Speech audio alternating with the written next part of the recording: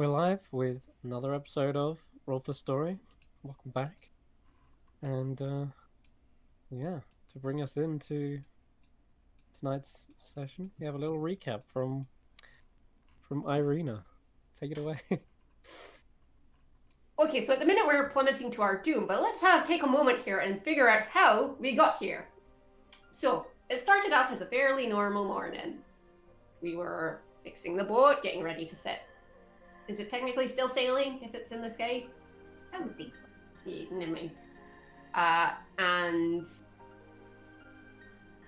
we had some issues with the engine and testing it, and Carius decided that he wanted to uh, go for a fly with this weird blue, misty stuff that really didn't seem to like candlewick at all. Uh, and being the little daredevil that he is, pun not intended, uh, decided to go for a bit of a flight and then nearly died, which poses a few issues. Anyway, uh, we're all alive. It's all fine. Uh, it involved firing people out of cannons and all sorts of shenanigans. Uh, then Andy decided she wanted to eat all the bread on the ship before we'd even set sail, which again posed another problem. A lot of problematic people on this boat. I don't know if we're going to survive. Uh, uh, and some one of the Borzo people decided they wanted to get into Andy's bag to try and steal something. She was not happy, let me tell you that. Uh, it then skulked off and tried to con- convince Kashan to get her one, and that was all a bit of a kerfuffle. They had a bit of a disagreement. Uh, myself and Llewellyn's creepy ass book decided we were going to follow the Borzo. Uh, Carius got caught, but caused a decent distraction, so we could get down there. Some weird sort of cellar in the basement kind of deal. This guy was shifty as heck. Uh, and there was a, like a robot underneath the sheet thing. Uh, it seemed fairly harmless, but the guy again shifty. Uh, and we sort of yipped out of there uh, before he came back. Got on the boat, set sail, only to find the jammy git had already broken a bit of the crystal that was the engine, and yeah, we all started to plummet to our doom. And this is where you find us. Come in screaming. Quite right, you are. The uh, ship was plummeting towards the sea just in time before. I think it was. Yeah, Andy gave away her last moon rocks to Irene, and you, s- you tried to place them into the missing sockets. But uh, Yeah, I'm physically holding them in place right now, I think. yeah, it seems to be a temporary fix, and right now the the vessel has sort of leveled out and just slowly ascending again. Uh, This is your captain speaking. Um, engine room, what the hell's going on? Uh, we're having some issues down here. If someone could come and uh, lend me a literal hand, that would be very helpful. well, looks like you're out, Llewellyn. That's yeah, that sounds like a job for me. I guess. Sooner rather than later would be good. I'm I'll trying to there in a navigate the boat. I'm trying to navigate the boat. Oh my god. There's no plots on the Yeah. I mean, I'm guessing Andy's still already down there. Yeah. She ran down to get the crystal. Um, Alright. I mean, Carry I it. have no idea what to do with these things. We need something to hold this in place. If you got like a rope or uh, something, Have rope? Wait, wrong way. good. Loop around a few times and tie it in a knot. Just Kash- Kashan, take the wheel temporarily. Uh, Just I'm, have all to the way hold it down, where it is. I'm all the way down Uh, at the bottom of the ship. How the hell? I do like to imagine that Irina is yelling loud enough that you could walk and literally just. Probably, yeah. Uh, Chris, can you take me all the way up? Because So, because Yeah, she asked for specifically a hand, I'm gonna cast Arcane Hand to hold it in place so she doesn't have to. I see you struggling. Hold on. So, Yeah. I mean, yeah, I guess that works, but sure. Um, I'm gonna, in the meantime, if if if you're gonna hold it, I'm gonna Okay. dig in my bag and I'm gonna find my tinker's tools and see what I've got in there that might help, like some glue or. Yeah, that sounds like a good idea. Uh, so you go, you've got the rope kind of holding it, but uh, of course the ship is slowly ascending and it's rumbling. You might need something to. yeah, that's what uh. Llewellyn is doing. He's using his uh, arcane hand to hold it in Hmm. place while I Yeah. try to figure out a way to do this. Okay, yeah. So let me show you the artwork again that you've got here. Effectively, you got a myriad of different crystals here that are all um, kind of shifting in color. There's like this chroma of uh, yeah, like reds, blues, oranges, and you can tell that one section is missing. Is probably like um, going bluish in color, and then it, it goes to a dull gray as it kind of passes over uh, the kind of shattered section. Um, as you try to like hold it on top of it, the the actual kind of shape of the crystal doesn't quite fit into it. Uh, you could use your tinkerer's tools to sort of chip yeah, I want to away try and- and yeah reshape it to try and fit it like a puzzle piece. Excellent. Okay, uh, give me a roll with your tinker's tools, and you'll probably add your dex to this. Uh, uh,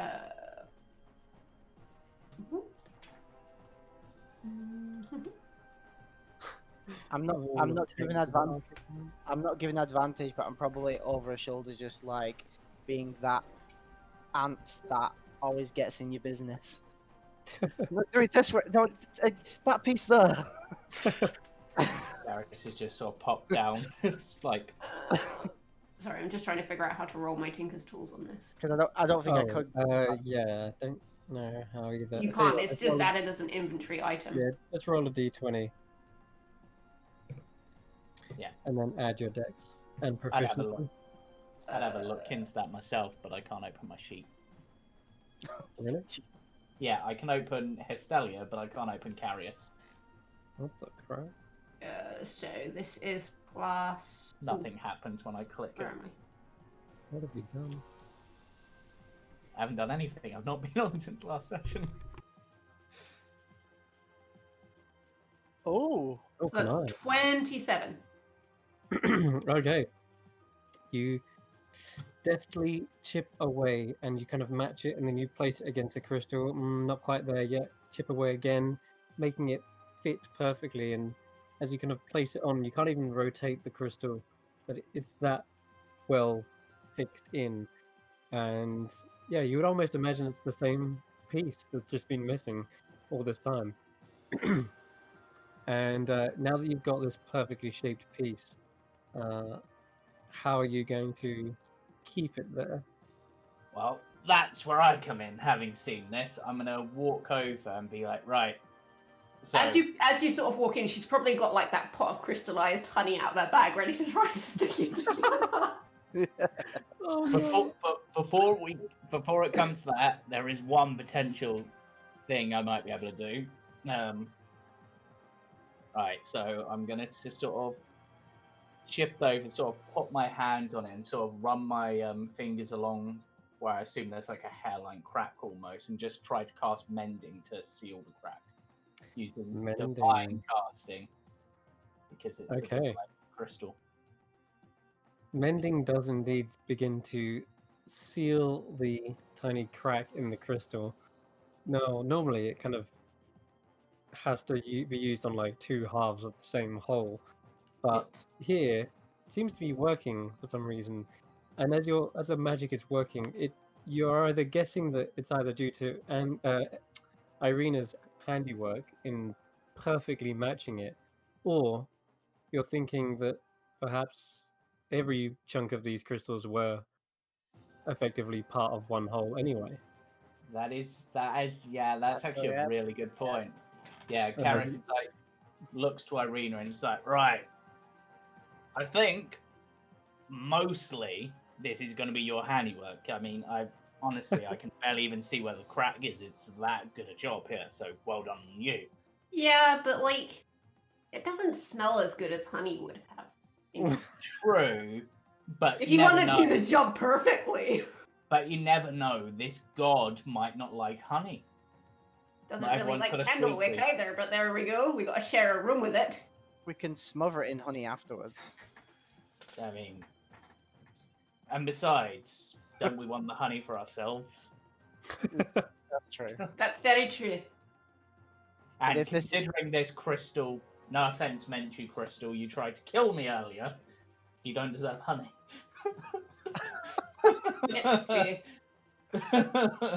At least not f- from me. Carius, don't anger the gods. It would not be the first time or the second time, actually. Right. So with that, They're glowing and doesn't seem to give any response to that. right. To be Now- fair, if we're gonna talk to it like it's a person, we should probably give it a name. That's true. They actually refused to tell us the name. Hmm. Um. Moon. I can give you a few suggestions, but I don't think anyone would dare repeat them. Luna, Luna. Here the simple one. works. Right. Oh, They look should at begin to lift Andy's picking up all the steadily. chips. Death Oh. Star. All the little chips of crystal. Oh no. See, Yeah, 'cause Irina, you plan do to how little. later. it, So Right, and I'm gonna head back up to the top deck to continue piloting. Oh, phew. Probably Right. make into a nice little trinket though. All those little Right, shiny Thanks shards. for manning the helm, Kashan. I think we fixed the problem. Mm. And yeah, Uh, Kishan, you And- see that the ship is lifting up gradually, like higher and higher. I think Kashan's abandoned ship. He fell overboard. wait, is this Two. as I two get minutes. back up there? Um, do I, does it seem to be going dangerously high? Uh, it's going a little bit uncontrollably high, but not dangerously. It doesn't seem to be in your control to sort of lower it at the moment, but it keeps on going, keeps climbing. Right, using Taklo as a communication device just with Irina, it's just like, um, have you got any way to turn down the output slightly? We seem to be going a bit higher than is probably not dangerously so, but You've We gone from too low too high now. Okay, looking at the the structure of the crystal, is it literally solid in place? Mm-hmm. Yes. Can I just interpose with the ship? I've still got my arcane hand out. You want to push down on the ship with the hand. Yeah, just just just interpose. Just keep it the same level and interpose because it can't go past the hand. Is it a strength check, isn't it? To see It if you can is, push yeah. past it. See, see if I can outdo the thing. Okay, what's the DC?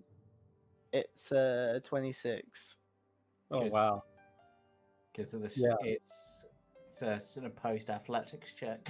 I believe, yeah. Oh, the it's an hand. opposed one. So I go ahead and roll that. Wait, make a check with the hand strength contested by the athletic check of the target. Is that just a pass through? This I'm gonna have to look at it another thing because that's too much of a wall of text. I think you're gonna be fine. I just rolled a three. Oh wow. But that Yeah. can Actually, yeah, the target can't move through the hand space if its strength score is less than or equal Oops. to the hand strength score, and the hand strength score is 26. Oh, So so it actually has to roll. No, it's not even a roll. It's literally if its stats not higher than your stat, then it does. I can't go through. hmm Well, it contested at the moment because it is pushing against a force. Regardless, uh, you you, you didn't roll a, d- a d20 No, you just typed 20. I. Yeah, good job. Um, 14. so you do start to see the ship level, and it is just pressing down with the hand, keeping it at a steady ele- elevation now. It seems to be working. I can only do this for an hour. You guys gotta come up with something. While I Um, focus on moving the hand and keeping it pushed down. Can we like attune to the boat? Like attune to the crystal? I'm gonna sit down and try. that's to be honest, that's actually a pretty good idea. Um, though If I'm gonna be the engineer, then yeah, Hmm. unless it, it, it would be make more sense for the captain to do it if they're at the helm. Possibly. They'd need to Right. control the ship more. There is a crystal at the helm as well. yeah. So How many I think- crystals are on the boat? There is one in the engine room, one at the rear, one on the front that's kind of being, I guess, held in Patience's hands. Um, strawberry. yeah. And then there's one in the actual helm itself. So there's four. As as the colours cycle and it goes to red, we're like, ah, it's a strawberry now. Oh, it's changed. Yeah, each time it's attack close, as soon as it sees it's a strawberry, it's just like, oh. right. So, uh, this is kind of a weird one because um, this is Taklo talking, but with um, Karis's voice because I can talk through Taklo just to Irina. Um, so the idea of tuning makes sense, but I'm not sure whether technically, because this is all part of one entity, technically, if one person needs to attune to it, or if we need multiple people to attune to the different areas. Cool. I mean, sorry. I mean, if I could try attuning to the engine, and then if that doesn't work, then we could try separately. It wouldn't hurt. Yeah, mean, that's I- not a bad shout.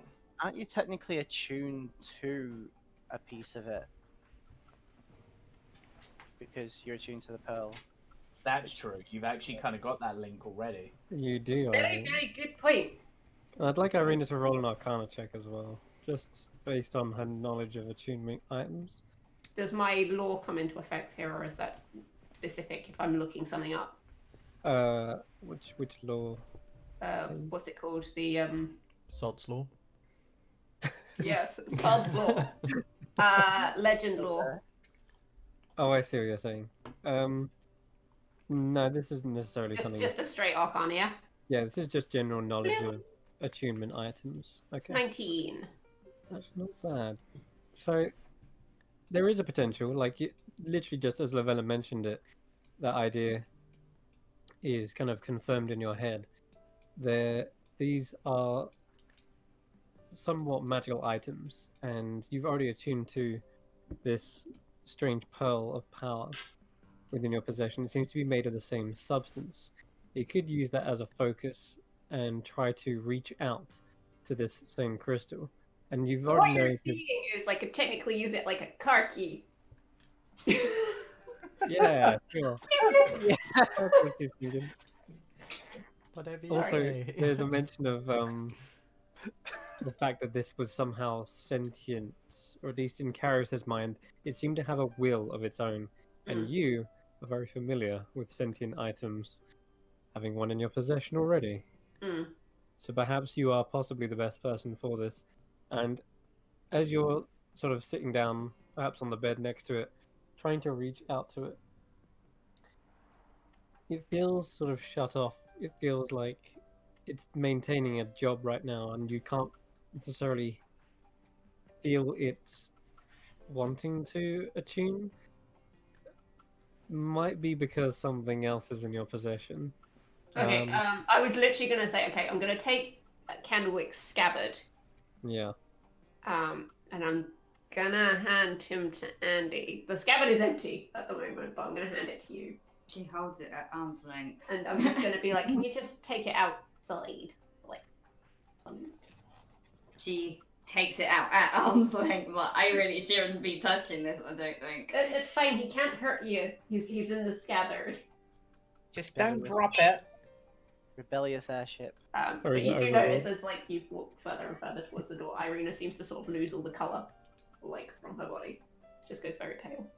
She becomes a giraffe. Not quite that bad. Um, and she's just gonna sort of sit cross-legged on the floor, uh, Hmm. Nearest to the crystal as she can get. Okay. Yeah, you surround yourself in this kind of bluish haze and begin trying to reach out to it. and this is going to take a little bit of a Yeah, I'm prepared to take some time. Okay, cool. Um, so whilst Irina is meditating within the engine room, trying to attune, uh, what would everyone else like to be doing? Hmm.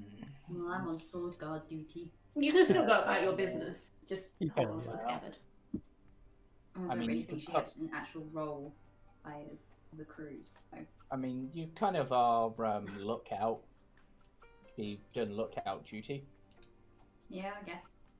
or manning the sails in case we need to do the fast turn because you made the sails, so you probably know more about them than most of us. Anything that keeps you out of the kitchen. I've already locked the door. I'm not here. You This is locked your it. conscience. I don't have a conscience. Wait. All right, it's kind of weird. Who said that? Right. Um, so Carius is probably going to be just trying to understand the ship's controls, maybe just trying to turn it to like the left and right, just seeing how it responds now that it's actually in the air. Um, and then considers for a moment and is just like, wait, we do have the option to divert power from the engines. But Ah. diverting it to the weapons at the moment seems stupid. Diverting it to the shields seems stupid. Um, diverting it to the pushy things would look stupid.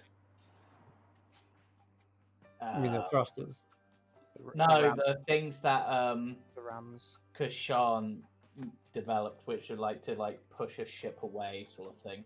Oh, right, yeah, yeah. Yeah. Um, so the only one I can think of is the fast turn sort of thing, because that would also use the ship, the engine, like the fuel, I suppose. Right. The fast turn ability, right? That was one of the things we got. Like Uh, you do, yeah. Um. So would that actually, considering what Irina's trying to do, Karis is considering this, but then after Irina starts, just like right, probably a good idea to just maintain the ship, try not to use too much, so that it can sort of focus on her and she can focus on it. Um.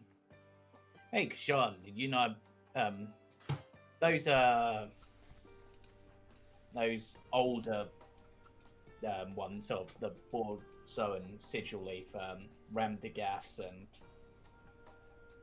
can't remember the elf's one. Ramdagas Yid- is the old It's Borso. a drill or something like that. It's a drill, yeah. Yeah, Elven. they're actually Elf, quite nice. It's still Yeah. It's a, it's a drill. That they let me borrow a book from the library. I was quite surprised, but Oh, I hope you're planning on returning that. oh yeah, definitely. In fact, I'm hoping that uh, potentially I might be able to take more books with me to donate potentially. It's like uh, thank you, but I thought um, once Irina's not busy and can actually help me understand the language, um, trying to learn more about dragons, considering what we're going up against, might be a good idea. You know. No, it would definitely make sense if, well, if this is what we're destined to go up against. But if you Well, if you need any help at all, uh, feel free to ask. Of course, I mean I'm more than oh yeah, happy. you literally speak everything. Well, But technically, you with the tongue of the sun and moon, just as a thing, can he read everything, or is it only that he can no, I can only speak it. Because it's not so much that you really speak that language; it's more just you under. It's almost like synchronizing with their ki or something, so you understand them via that sort of monkeyness. I Monkey. suppose. I think. I think that's how it's meant to work because it's like, it's not just like, haha, I can suddenly speak everything. It's more you have that sort of understanding. I think. I could be wrong, I mean, but yeah, um, yeah, because I, whilst as you can probably tell, um, I'm sort of the type who enjoys a good fight. I really want to try to deal with this diplomatically and not potentially risk the lives of the entire Claude Coast. well, yes. I mean, going up against a dragon isn't exactly what I was counting as a holiday. No. But um But then again, facing a dragon, even just talking to it, is going to be. Ugh. Yeah, it's not going to be the easiest thing in the world, but it, it I mean, if they're anything like Zaf, that shouldn't be too bad. Well, I mean, But- did we even know where Zaf came into this whole thing? Well, he was, I think, part of that sort of group and decided rather than trying to join in with the whole let's conquer the entire Clawed Coast to expand our territory, I'm going to go find somewhere else where we can expand our territory where we don't have to kill lots of people. But I think he's sort of a diamond in the rough, sort of like compared to the rest. Like, Yeah. at least from what I understand. I mean, I could be wrong, but Well, I mean, you you never know. He actually might be. I don't know related. I don't know how dragons work, but we might already have a a foothold within this. yeah. Well, if it's a group of dragons or whatever.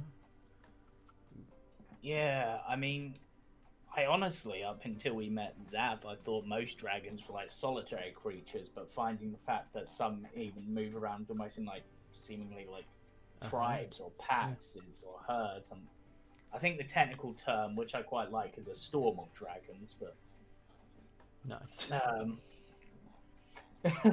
Carius would know that. He might not know anything else about dragons, but he would know the technical term. Yeah, I think he would. I think Storm is correct. yeah. Well, Yeah, I I, I, can never escape books as characters, like, but yeah. Seriously, I mean, we'll be is it with behind you 100%. So, Yeah, I mean, it's. I mean, for me, I'm most, to be honest, if I'm being completely truthful, it's not even the dragons I'm most worried about. oh, Yeah. Well, the obvious person to go speak to about this, considering it's all like they're gonna attack on the perfect storm, is to go speak to the person who I know knows more about storms than most, which would be my dad. Our last conversation did not end well. a bit of a family feud, or Well, it's more. You see, kind of got to understand a bit about my family. So, um, most of the males in my family, of which are actually slightly rarer, are kind of like weather workers. We manipulate the weather, we help the crops grow. Not sure why we're particularly good at it. It's just something that we've always been good at. And the women tend to be the diplomatic sort of type. It's just sort of um, but I was never quite as serious about it as my father wanted, and probably nowhere near as dedicated as my younger brother, who was always seen as sort of the perfect child. And I see. after I got struck by lightning by one of the gods, well, by my god, um, As you do. and that was found out by my dad. We got into a bit of an argument, which is what got me sent off to shack up with Castellius and train under them to try to become more disciplined and stuff, because there's sort of like a relationship there, like um, they grow the crops for his islands and help with that, and but it was just yeah, so I'm looking forward to seeing most of my family. I'm even looking forward to seeing my dad. I'm just not sure he'll be happy to see me. And the last time we spoke, it almost ended in a fight that, honestly, if anything came close to a perfect storm, it was probably that argument. Well, I can guarantee you with you have us now. So That we won't true. let it get down to that kind of situation. Yeah. And I'm sure well, on this journey at least, I've seen a lot of change in all of us already, including myself. So perhaps he's changed in his journey as well. He might be completely different when you last saw him. yeah, it's been a few years. It Foreshadowing. has been. What? Yeah. Who said that? Hmm? um, Must have been Andy's Right. conscience speaking out there. but yeah, Huh? it's just. Yeah. But I'm looking forward to seeing my brothers and sisters, all eight of them. exactly. Keep positive. That's mean, right. You have to play eight NPCs at once. I mean, there's a good chance they won't all be there. They'll be off doing like diplomatic and marketing stuff. But who all have a mixture of sentient weapons and items. All have And their all own the names start personalities. No. One has a Oh, grimoire of their own. Start with K. Uh, they they don't all start with K. Whoever They said that, they don't. I've named my siblings. They're on my bio in roll twenty. There you go. And they're your probably on job my easy. bio yep. I didn't think we'd ever go back there, so I'm just like, you know, I'm just gonna. I'll make it fun, and just sort of I could work and around this, and then Um, yeah, Anyway. Goodness yeah. So me. It's Um, going to be interesting. I mean, I've at least learnt a few things, and I think I'm close, probably both closer and further away to what my dad want would want for me in terms of who I should be. well, I'm sure he's going to be proud of you no matter how you end up. Or at least he should. Yeah. Though I am curious as to how he's going to feel about the flying ship that runs on the corpse of a god. Might I might um I might skip that bit. Perhaps. I mean, uh, maybe not go into details about how we got the ship. yeah. Like, Yeah. yeah. You could just say you made it. That if I managed to now I suppose, but then it was I mean technically I helped make it, so I suppose that's not completely a lie. I mean, I wonder, even I wonder how in they're going doubt to you react to Irina. Because they've met Irina before, some of them at least. I think. Scale of one to ten. How mad is your dad at me still? it's been like ten years. That's a that's a good question. Um, I'll, I'll have to. I might just have to gauge before we let you interact. I think you may have almost. Did you almost burn down one of his boats? Hmm. I'm I'm I'm not here. It's just a side Yeah. comment. Carrie is just considering. Side this. comment to Taklo. It's Yeah. passing it on to Taklo. Yeah. Yeah, but yeah. Okay. So, I Can't even remember whose fault that was. Was that your fault or my fault? Honestly, I'm really not sure. I don't remember anymore. how anyway? How goes your attunement? okay. So, it is taking a lot longer than what you expected. In fact, you reckon it might take the better part of all day. It's not normal attunement. You're feeling like yeah, no, no, that's fine. I honestly don't expect it to happen immediately. I've Yeah. got practice in this. exactly, yeah. It took I'm a fine. while. Made myself comfortable. Um, given that how many like there are, in compared to like the small little crystal you have, you reckon it is possible to sort of attune to all of them collectively, but it's going to take what an hour for each crystal effectively to sort of map out where they are in your mind. And... That's fine. I will spend the entire day down here if I have to. all right. You heard it. Does the ship keep itself level while she's mid attunement? Um, well, Once, because my hand only lasts an hour. It does only last an Okay. So after a while, Levin, the the ship is still slightly elevating, less so than it was before. It's only very gradual. But it's not like it's gonna go into dangerous territory anytime soon. You reckon over the course of travel, there will be needing some moments where you'll have to try and ease it up. But um, you can roll me an intelligence check real, qu- qu- real quick, Levin. Straight intelligence. yeah. Uh, ability check. Dean. 15. So you're looking over the side of the boat and inspecting these clouds because, of course, they're the ones that are being enchanted, and you do have quite a number of clouds being kind of supported underneath the, the ship here. Um, you reckon if there was w- one way to get rid of the lift, is to get rid of some of the cloud cover?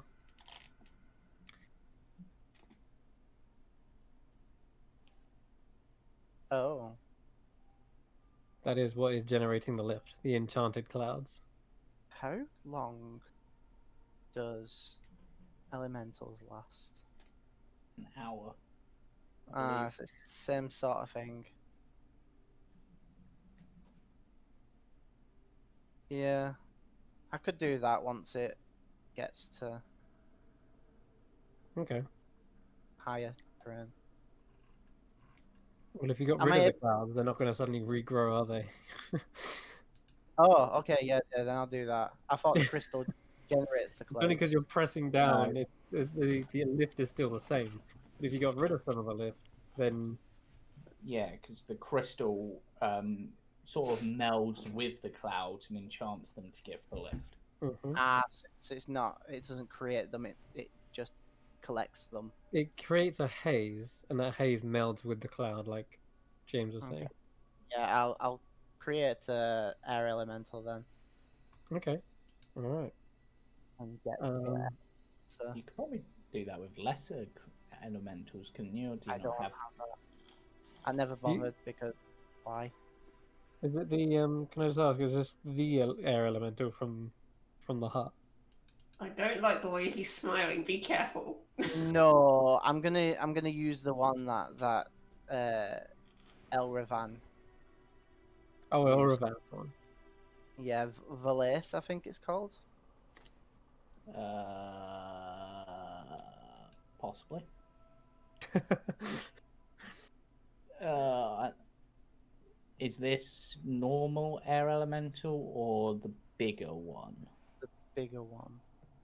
So the so the invisible stalker. Well, oh no no no, I'm not casting it at a higher level. It's uh, Okay, I'm just having a look. it'll be the same one, just not invisible. Uh, I've not given it the ability to be invisible. it was Volance. Volant. Yeah. Vividus is the vine elemental. Yeah. Hmm. Volants, yeah.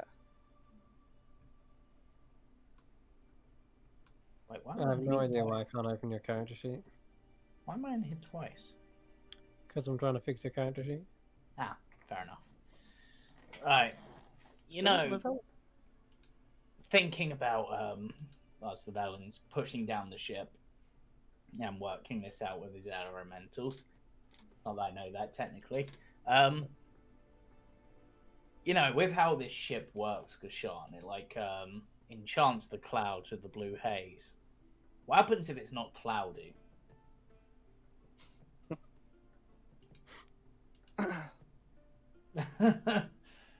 I mean, I can probably create clouds, but I don't know if I'll be able Is to that a create question enough. to me?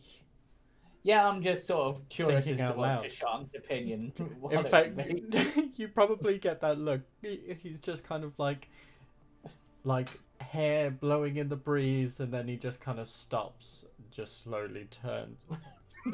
what do you mean? well, well, like,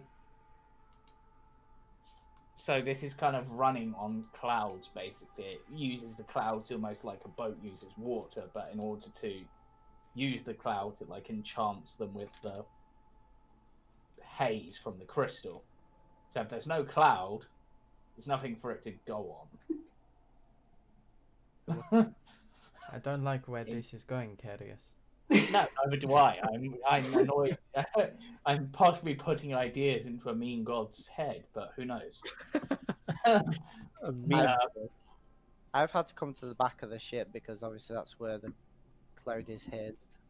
Mm-hmm. Well, I'm So- assuming when the, it just infinitely generates this cloud from whatever the crystal is. So as long as we get we keep that crystal going, then we Well, stay afloat. Hmm. It Speaking doesn't of which, generate. I wonder how It this is does. going.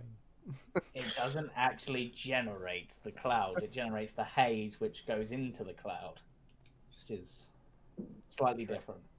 Though, considering the fact that I got lifted up so high by the haze, it's possible that it may have enough buoyancy even without the clouds to just lower us down gently. Maybe. If not, I may have to be trying to carry a boat. Not sure how that's going to work. Yeah. It'll be Um, interesting. but and I can I can probably create like I can use like a spell I've got called fog cloud to create like little pockets of cloud to like slowly Hmm. lower us down. Yeah, there you go. Possibly, I mean, But that still. work. yeah. All right. Um. So for the most part, this day is going without a hitch. You don't seem to encounter anything in the skies, and Llewellyn, you finally bring forth your wind elemental, right? Yeah.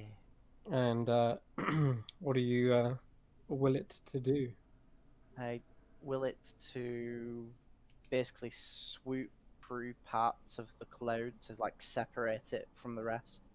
So as we go forward, there's bits of cloud that gets pushed out. Which I assume, with it being mixed with the purple haze, parts of it will just end up going off and then floating upwards. Yeah. So the air elemental looks like it is having the time of its life as it kind of whirls around in the air. It's surfing. possibly the highest it's ever been. But it's whooshing through the clouds, and as the air elemental comes out the other side, you see that there is this kind of bluish tint to the actual air, air elemental itself. And it kind of looks at its own body, and uh, it seems to be lifting up as well. As it tries to swoop back down, it's like pushing against the actual clouds itself. You can go wonderful Oh no! stuff. You okay over there? I s- call out to an Oren. Oh no! This is the strangest thing. I I feel lighter.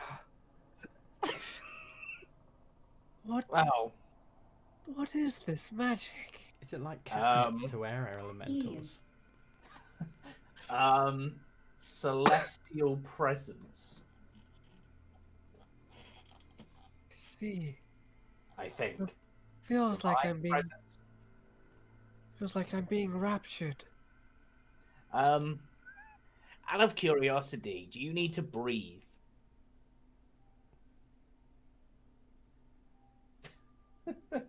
Is you dumb? I don't know. I am air.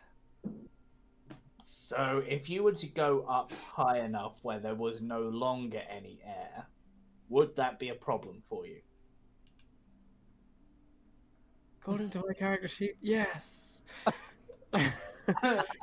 Right. No, I think um I'm not sure about that. Doesn't actually mention. I mean, what are you? it's probably something they not they didn't even consider. Thinking, No. Well, I mean, Like, if it's like- there's no air up there in general, then I guess you can't send a creature made of air to a place where there is no air. That makes sense. Well spotted there. All right. So you see, the air elemental is like, "Ah, feels like I'm wrestling slightly. What would you have me do again? Uh, can you blow air? I can. It's maybe I you want to do that instead of going through it. It might be better. I need to be within it. Oh, maybe can you? Yeah, can you do that and just blow it away in one last well, fell swoop? I'll do what I can. And you just make see, sure you leave some under the boat. all right. Yep. How much are we talking? Um, To be Uh, fair, if it stays on, of air? if it stays Ah. under the boat, it should only then be stuck under the boat until. Right, so just this is actually so currently the cloud it is the buoyancy or like the lift course by the boat determined by the amount of cloud beneath the boat? Like if it's like ten foot of cloud, is that more lift than five foot of cloud?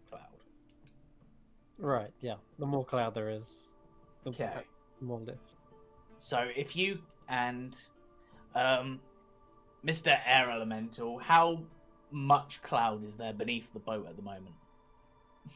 Seems to be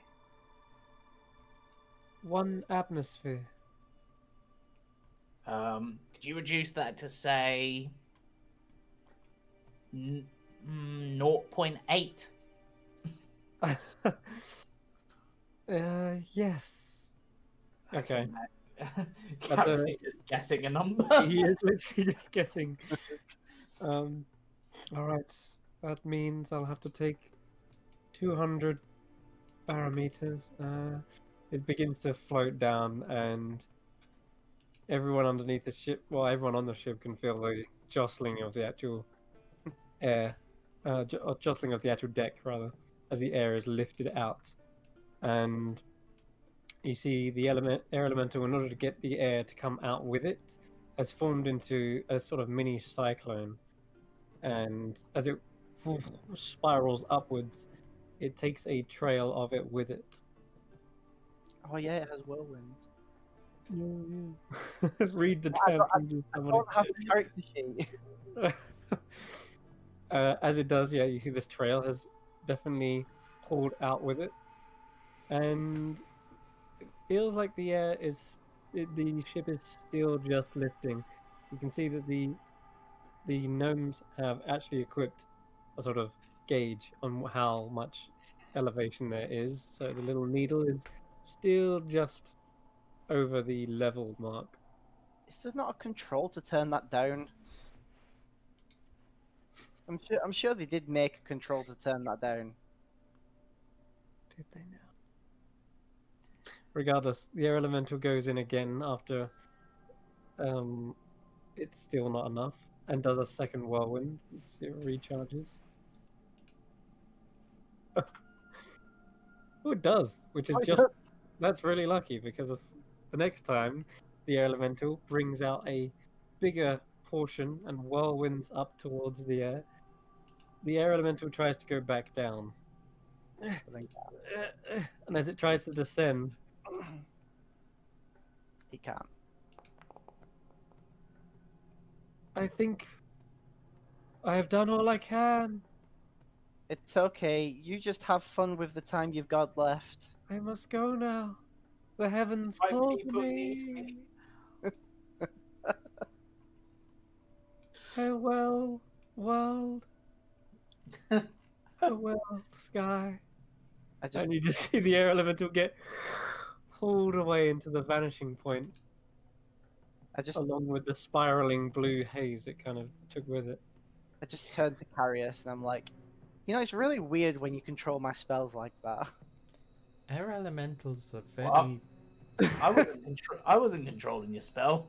I was just talking to it. They're very dramatic. Right. Nonetheless, yeah, it does seem like the needle has kind of leveled out, and you're now at a steady pace. Just gonna wait for Um, Irina to do her. Okay. Um. Well, it gets to a pretty late hour in the day. The sun has set on the horizon, and night is creeping in. Everyone aboard the deck is mostly getting tired, except Irina. You are trying to stay awake, concentrating on these crystals, and now the Mhm. glow is even more present. Now that it's kind of gone to night, it's you can almost feel the glow as much as you can see it. But Yeah. everyone else, you're probably heading to bed unless you want to keep a watch. Um, I'll jump up into the crow's nest. I'll head up there as well. I Uh, gotta do a. Too crowded for three. Oh my god, there's three. And he's been up there this whole time. So I'll climb up there and go, oh! I didn't realize it was lying occupied. floor. Stargazing, you start jumping in on top of her. uh, it'll probably still climb up top, but we'll just go and like perch on one of the, like the Yeah. sail rails. Carius is just sort of looking at the controls to see if there's an autopilot function. I was. I don't think there is. I uh. I'll stay with Carius then. There is a uh, there is a locking mechanism.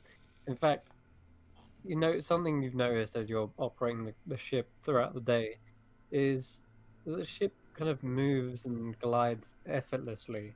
Unlike a ship where you really do have to wrestle against the waves and the wind. For the most part, you are still utilizing the wind, but there isn't as much friction on the underside of the ship, and so nothing really kind of like knocks it a, astray and you've been keeping on a on a direct path to the west for a long time now. It doesn't feel like you've actually had to adjust or accommodate for that. Hmm.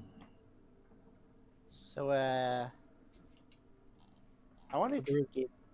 I wanted to give you this, and I and I chuck this rod with a cog on the end to Carius. Um, Seems like you might need it more than anyone after yesterday's fiasco. um, is it a rod of stop flying out into space? Essentially, yes. Uh, just just turn that, that- just hold on to it and turn that cog there. I do so. And he is thrown from the wheel because he is is attached to this rod. Oh god. Uh, yeah, you start to see the ship is sliding forwards without you, Carius, and your feet are kind of like scraping across the ground as you try to find traction. You're still holding onto the rod, but the ship is going off without you. I turn it back the other way. You're just in time as your back nearly hits the edge of the balcony. Wow. That should do the trick next time, right? I mean, it depends how it handles against gods, but yeah, I suppose. But yeah, and also other things in general.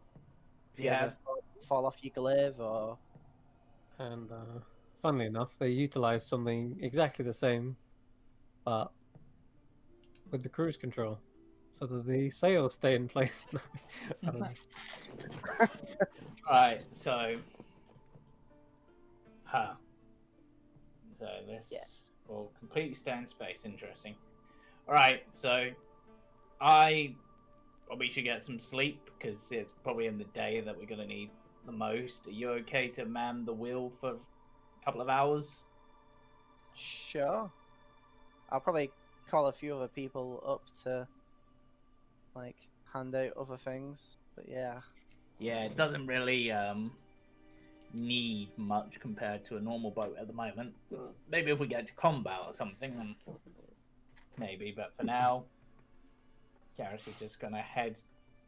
Actually, to be honest, Carius is probably just gonna find a position on the deck and lay down. He's used to laying on the deck. Sure. Okay. Um, Try doing that with an Australian accent.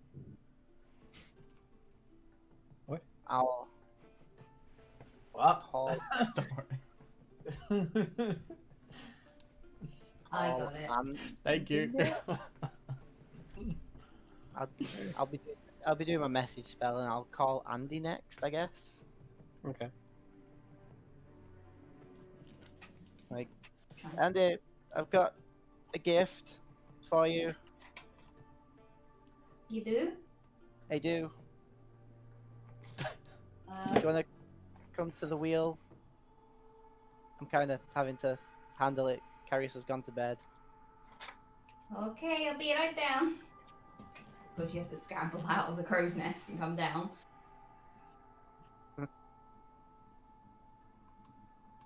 I uh, are you there? I would guess so. She's come down because you've asked her to. Scrambles down.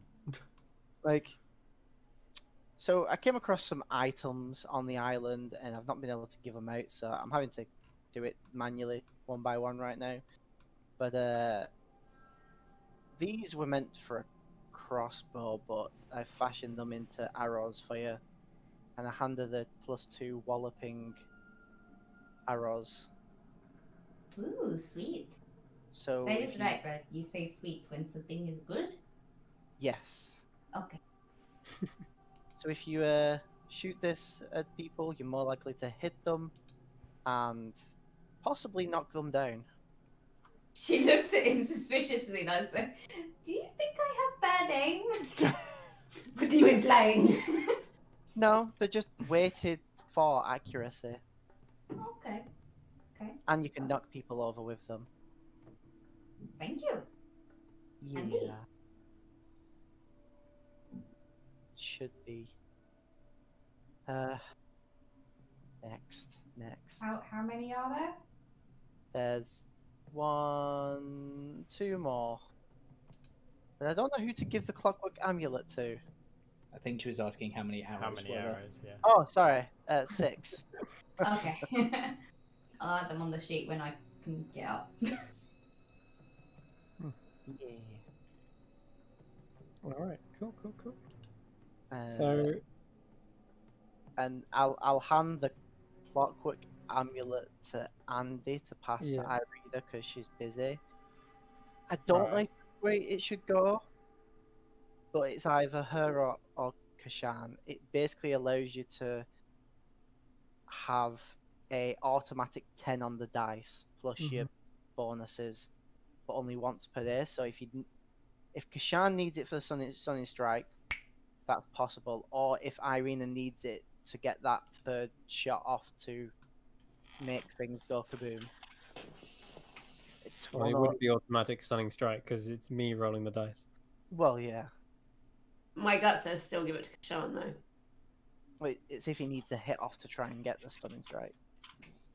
But you can give it to Irina, and if Irina feels it's better in Kashan's hands, then Sure. Okay. Sure, that Alright, one down to Irina to give it to her. Yeah, uh, what Llewellyn hands you is a little clockwork um, stopwatch, and it's shaped in the shape of a sun, with the rays of the sun shaped to look like leaves. So it's almost this complete kind of collaboration between the sigil leaf and the Borzo tribe in that it's a mechanical leafy sun made of moonstone. It's like it's the combination of all the elements and and symbology. And I can actually show you a picture as well. Cause Yeah. where is it? Jamie, you've got it. I have.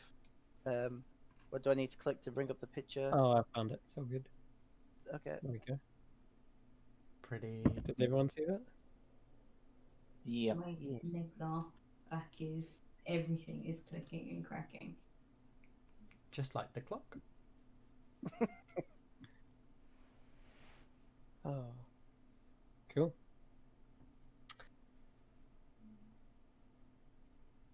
All right, so you head back down to where Irina is.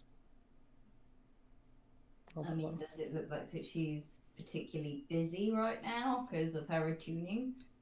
she is. Okay, she'll just kind of like slip it in Irina's bag with a very, very, very badly written note where she's tried to put from Llewellyn on it, but probably spelt it from lemon. Oh, but to be fair, she thinks the melon is spelt loser. because Yeah, that's how true. I Right. wrote it. That's right, yeah. From loser. Uh, the- anyway. How do you spell on. the melon? L O S E R. Yay, um, that's what she's been taught. great, great. Ah. Uh, all right, so I'm gonna drag and drop it into Irina's inventory and see what happens. Mm, mm, mm, equipment. Did that work? I'm just checking it now. Yeah, there it is. It's at the top of your loot. Ooh, Oh, indeed. Uh, there you go. Cool. Cool. All right. So, um, speaking of Irina, okay. At this point, everyone else, are you heading? oh wait, Llewellyn, you got one more thing. Well, Kashan, but then there's a whole like role play conversation right there. So if you want to move on to Irina, we can get No, because you need to be in bed. I'm fine. I can wait. okay. I call Kashan to the stand. To the st- I mean, I guess you could have got Andy to basically swap with him. Yeah, do that. Uh, Kashan will yeet off and then slow fall down. And Oh, miss the boat. okay.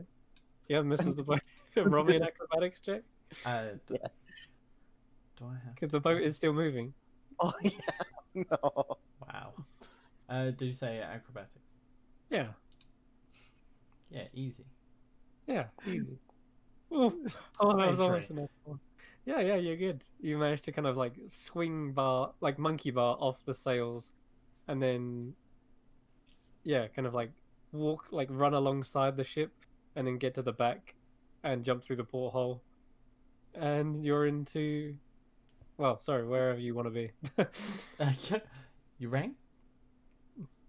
So, I've been giving gifts to people, stuff that I've had on me, and I uh, I have an item for you that you might be interested in.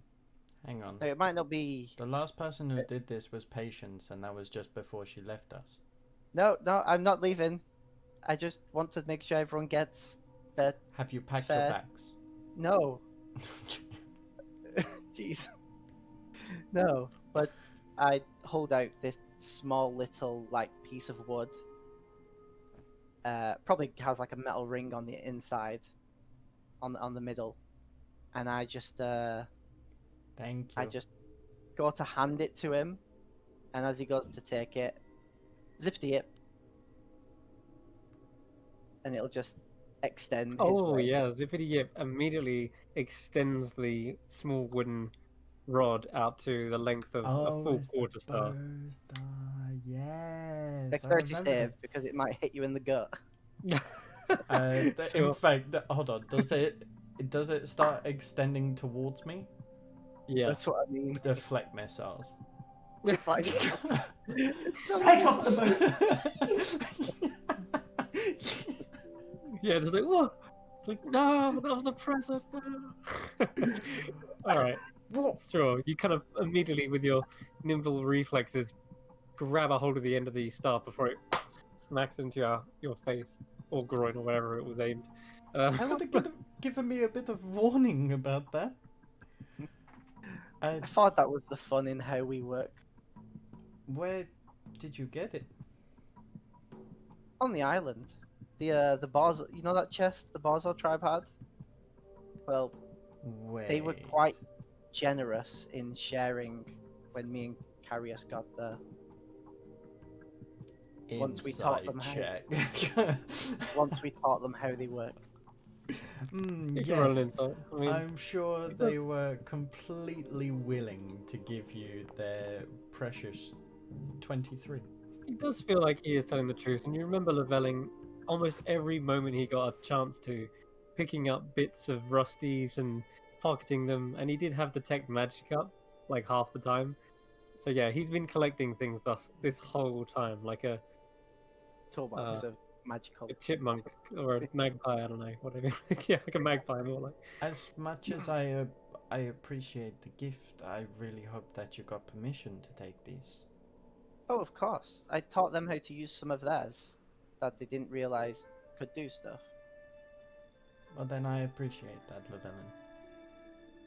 Also, I wanted to speak about what you mentioned in your scroll. Now that you've finally opened up about them, Of course. I, I'd be uh, more than happy to share. the next area you mentioned, I think I know of it. this uh cave. Oh, uh, let me just go it out so I can get the wording. Unless this is one that I didn't get wording for. Um, he he has. Yeah, sorry, you have mentioned. We have mentioned this one before. Yeah, he's It talking was the about crystalline. The crystal. the scroll of Diamond Soul. Yeah. Yeah. You know mentioned it in the it library. is? Yeah, I was following some leads back, way back in the past, not counting the fact that we had 10 years in the Feywild. Hmm. Yes. But yeah, there was, I was visiting Finkelbib, Gnome Village, and a dwarf decided to come reside there because he couldn't go home because he was blamed for the death of his mining crew. right.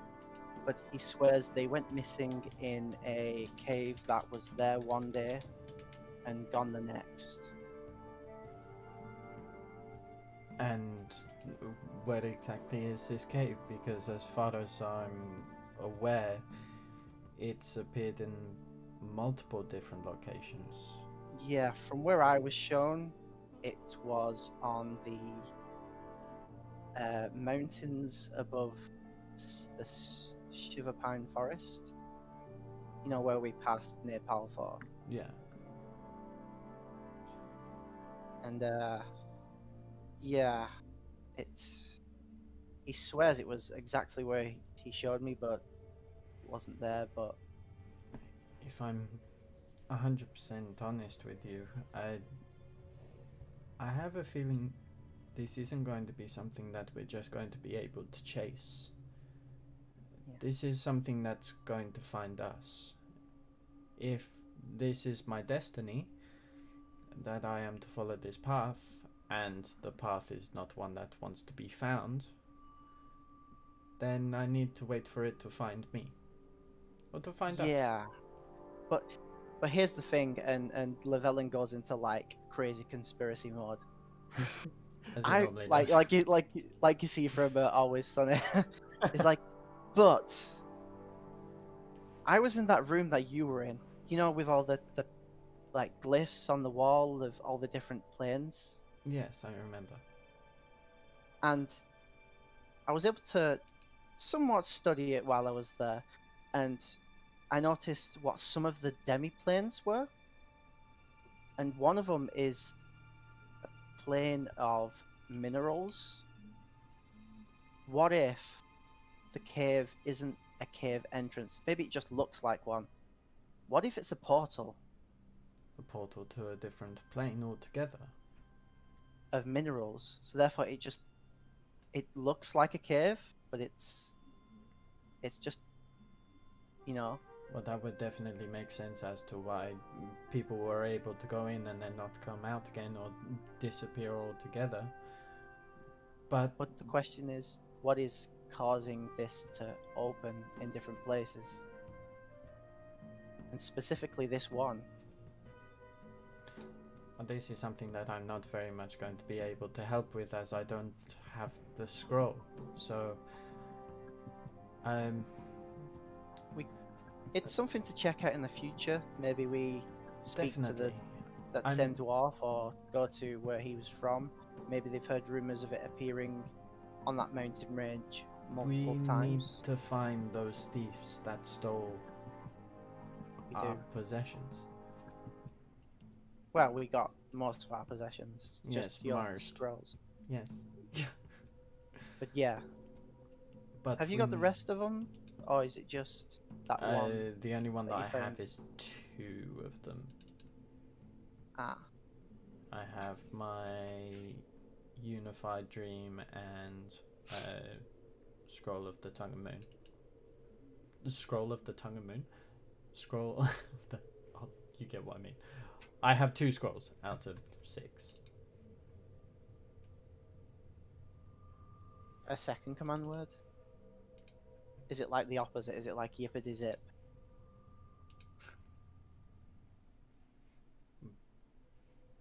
Papa da gata. I'm just waiting for Chris typing.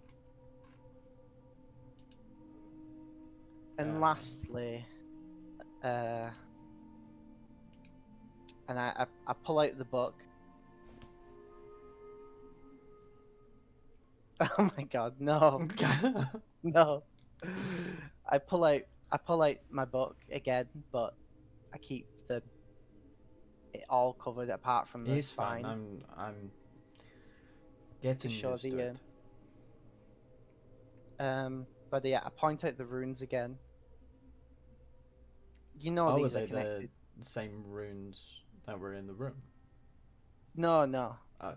I don't believe. But as I last mentioned, these runes are connected to Ladorvu. And with the way things have been going recently, tougher things we've been coming across, I think you should copy them down just in case something does happen to me.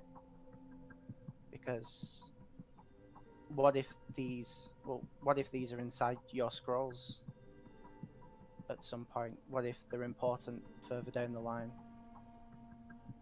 He'll nod and will probably ask for a bit of parchment because I doubt it's something that he'd carry. Oh yeah. um, and we'll take note. There was actually something that you mentioned to me uh, quite a, quite a long time ago now, thinking back on it. Um, it was actually the first time you ever asked to see my scrolls.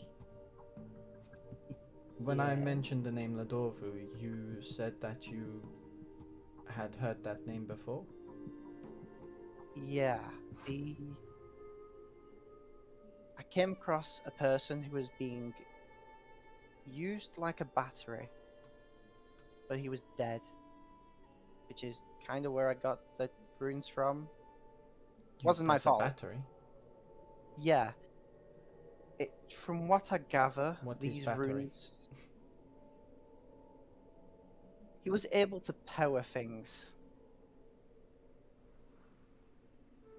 Ah, this isn't going to be easy. You know, like how the ship, how this airship is, later. powered. you know how this airship is powered uh huh. by the crystal. Imagine that, but a person instead of a deity. Right. That's as close as we're gonna get. As I see his eyes glaze over, just like. But yeah, Do I take he, the psychic damage now? from what I could tell when I spoke to him, you know how I can speak to dead sometimes. I thought it was just a hobby, but yes. He was like an acolyte of Ladorvu, or a follower, follower, I guess, like you.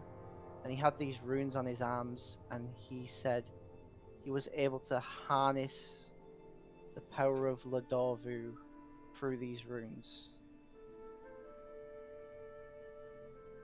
But the evil guy who captured him was then using that to use his body as a battery. So it was somebody trying to take the power of the Dorvu, trying to harness what he had pretty created. much. So whether that's actually on whether Ladorvu is a being of power, or whether he was harnessing the same power that Ladorvu does in the first place, I don't know. Did you ever? Maybe that's what you're aiming towards. Did you find out your- who, what what they wanted with them, Uh, or what their plan was? What even that power was? Well, Sadly, I was only able to ask it three questions, and we were kind of in a really terrible place, so we didn't get to stick around. Did you ask for a name? No, that was not one of the questions, sadly.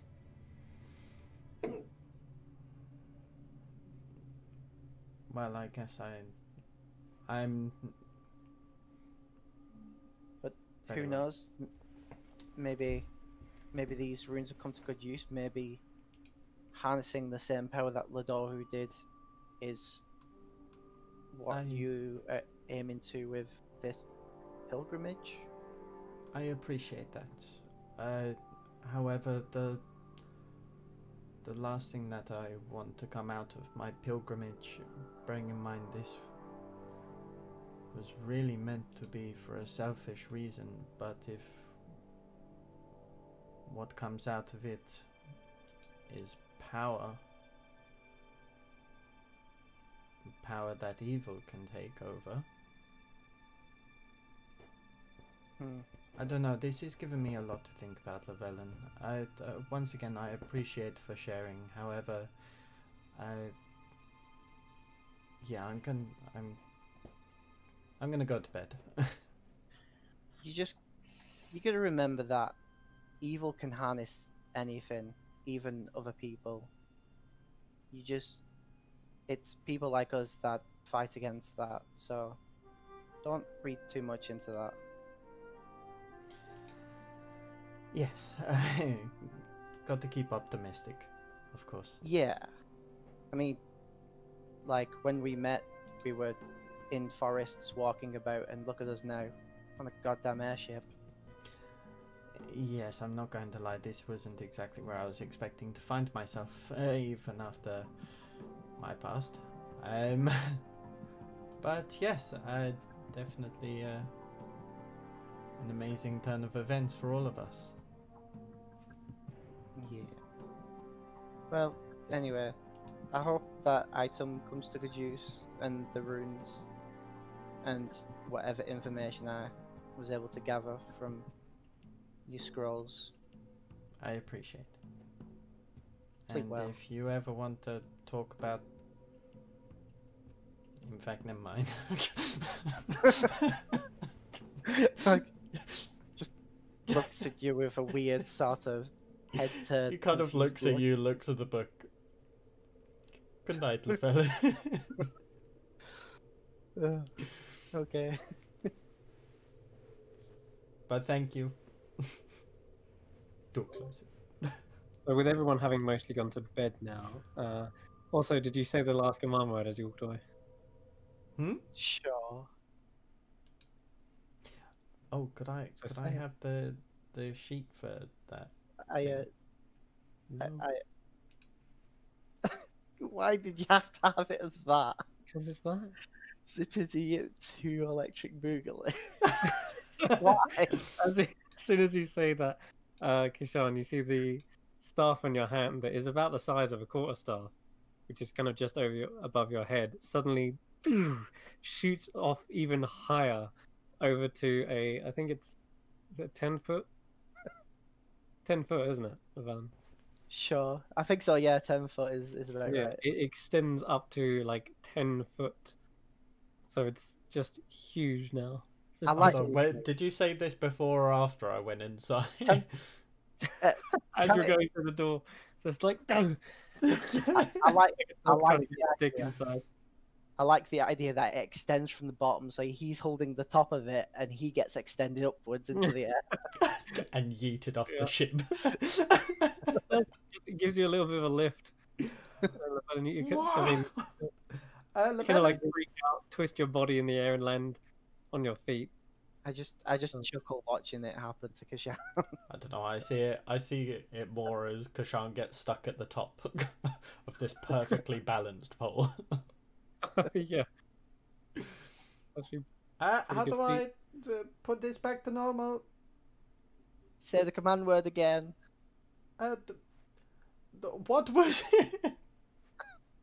zippity dip. Zippity dip.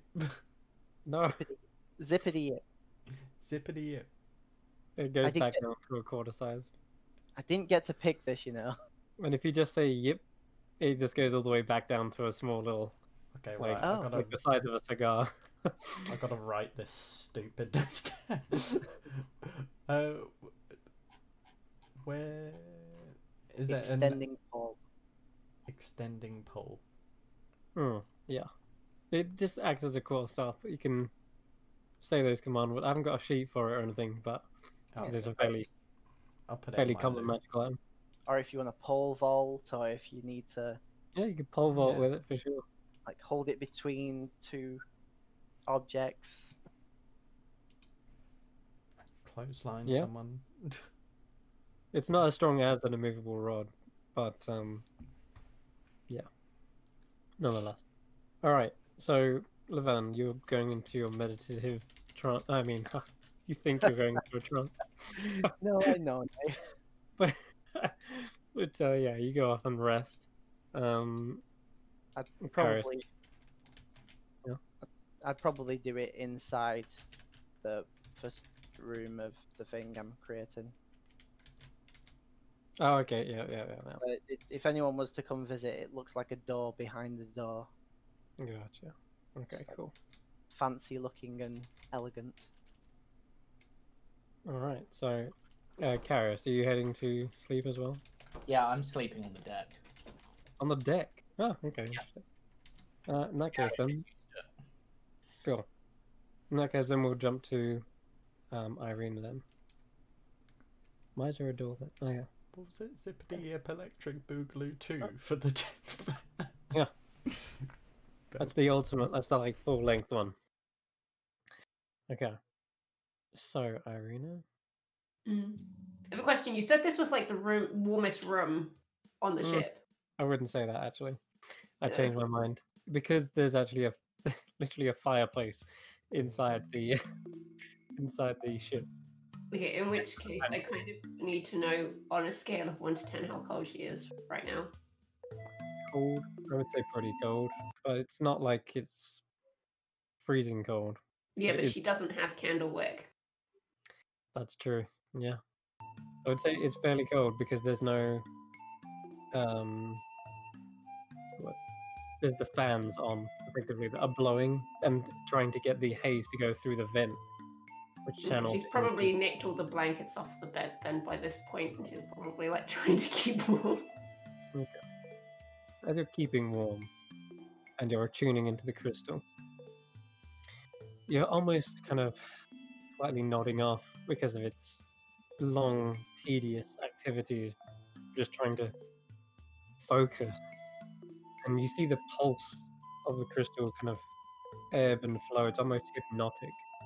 And as you're kind of just drifting off in your snug, cozy blanket fort, um, you hear what sounds to be like glass. Someone hitting a like a tuning fork, like a ding, and it rings like like glass. Okay. Um. You can play at this game. Um. I'm wondering if I can. Uh, they're not made of glass, but I'm gonna kind of try and use the compass and the monk emblem that belonged to my mother and just clink them together in time with it. Oh, okay. So it was just a single one, but as you hit them together and you make your own sort of sound,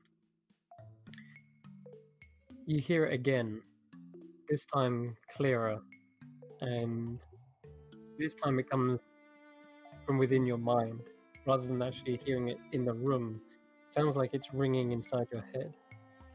Ding. And it actually even matches the t- it matches the kind of yeah, the actual um tone that you just made. Okay. Um. Do it again then. I got pizza. Um it uh so you do it once more again. Is that what you said? mm-hmm. Okay, it repeats it back to you quicker this time.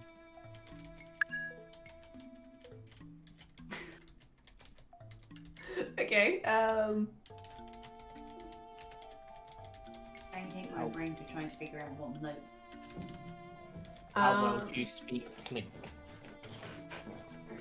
I'm, I'm just trying to figure out um don't really speak a language that's kind of melodic. So, um, do I get the sort of feeling that the the clinky noise is almost like when Candlewick does his sort of the heat differences when he's trying to give me a response, or Yes, but also entirely different at the same time.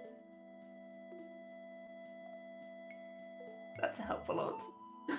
In other words, it feels like a form of communication, and yet that type of communication is both different and its personality is completely different. Okay, um.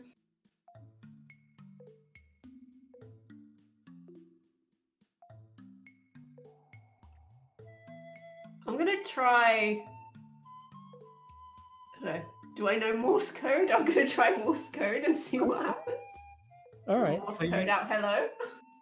you Morse, out, well, Morse code out hello, and uh, it actually repeats it as well.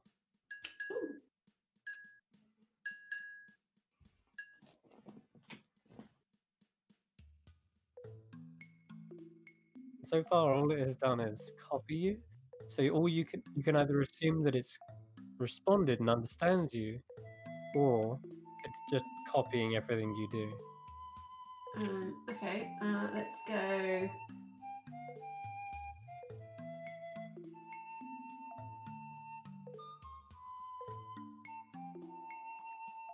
How fast are we traveling? Can I tell from in here by the, the, the, the mist and the smoke? You look outside. There's hard. It's hard to tell, judged on your surroundings, because it's just cloud and sky. But there is a little gauge up top on the helm that does indicate, and you're going very fast. I would say. And you said there's a fan going as well. yeah, there's there's sort of a Okay. fan inside inside this room.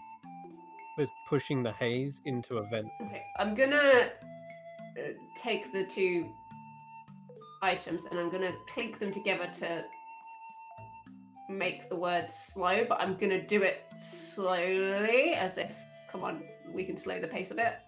Ah. So you're doing the the sound slowly. Hmm. Okay. Interesting. Because you said it sped up, so I'm now like, okay, let's get it to slow down. When I Hmm. did the clinking, you said it did it faster. Yeah, as a response. Hmm. So I'm gonna try and do it like the word slow, slowly to sort of this is what it Hmm. means. I see. You're teaching it.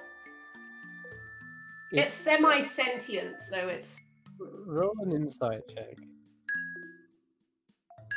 insight. It's not my best. Ten. It again copies you, and it has seemed to match the pace. And although it doesn't feel like the ship's going slower, you do see the pulse of the crystal outside begin to slow. Let me see if I can even change that. Uh, here we go. Oh. You see it change? hmm the pulse has slowed of light. Okay. Um. And it from your insight, it either understands you or you've just now taught it what that means. Okay. Um. I'm gonna try and teach it sort of left and right, but to get the directions, I'm gonna sort of shift myself so that I'm behind it, so I'm facing the front, towards the front of the ship, with my back towards the back. Mm. and I'm gonna take them and hold them to the, the like the left side and clink out the word left, and then do the same on the right to see if I can teach it that. So It copies again, but it doesn't feel like the ship is turned or tilted in any way.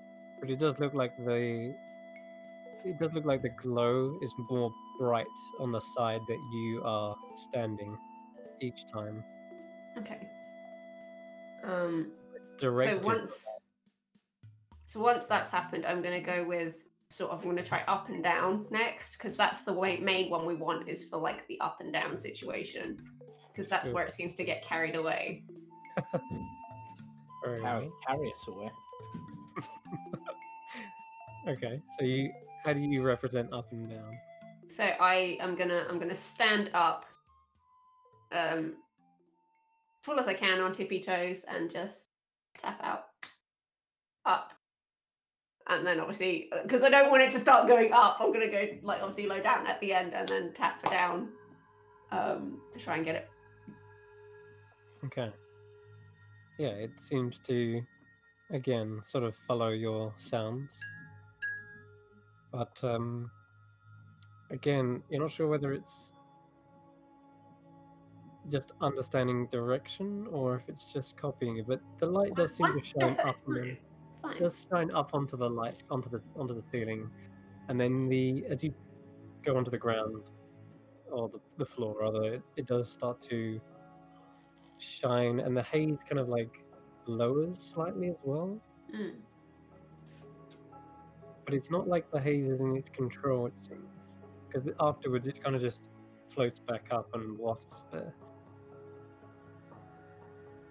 it's not it's it's it's a tricky and slow process but i'm going to say over the course of the next few hours you feel like you've started to make some understanding of back and forth communication I'm also going to do one last one, uh, like uh, important one, and I'm actually going to tap out the word Luna, and I'm actually Hmm. going to put my hand on the crystal after I've tapped it out and say Luna. That's. Interesting. Okay, this is for the first time. It doesn't repeat back, and you're saying the word right. hmm It doesn't repeat it, That's fine. but can you roll me another insight check? Uh, that's not my name, bitch. I'm sorry, what? What's Um, your language?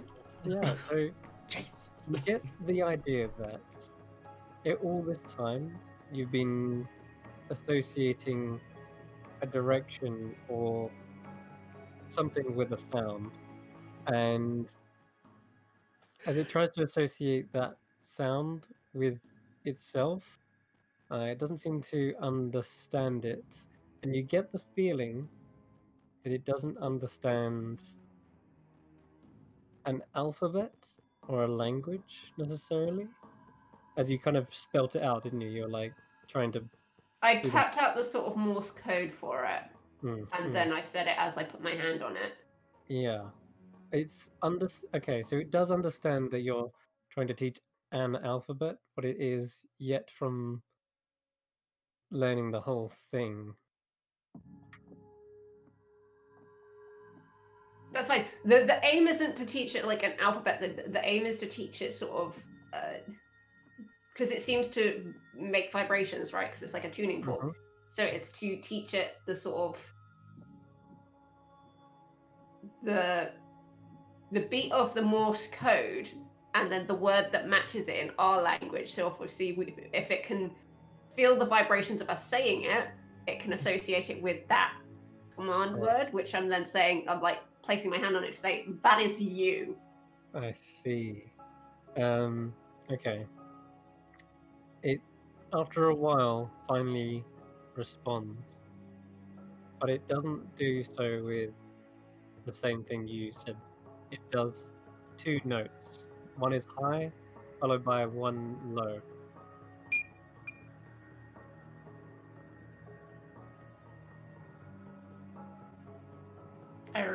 Repeat it. You repeat it. So what with The high and the low back to it. okay. Um yeah, it repeats it back again.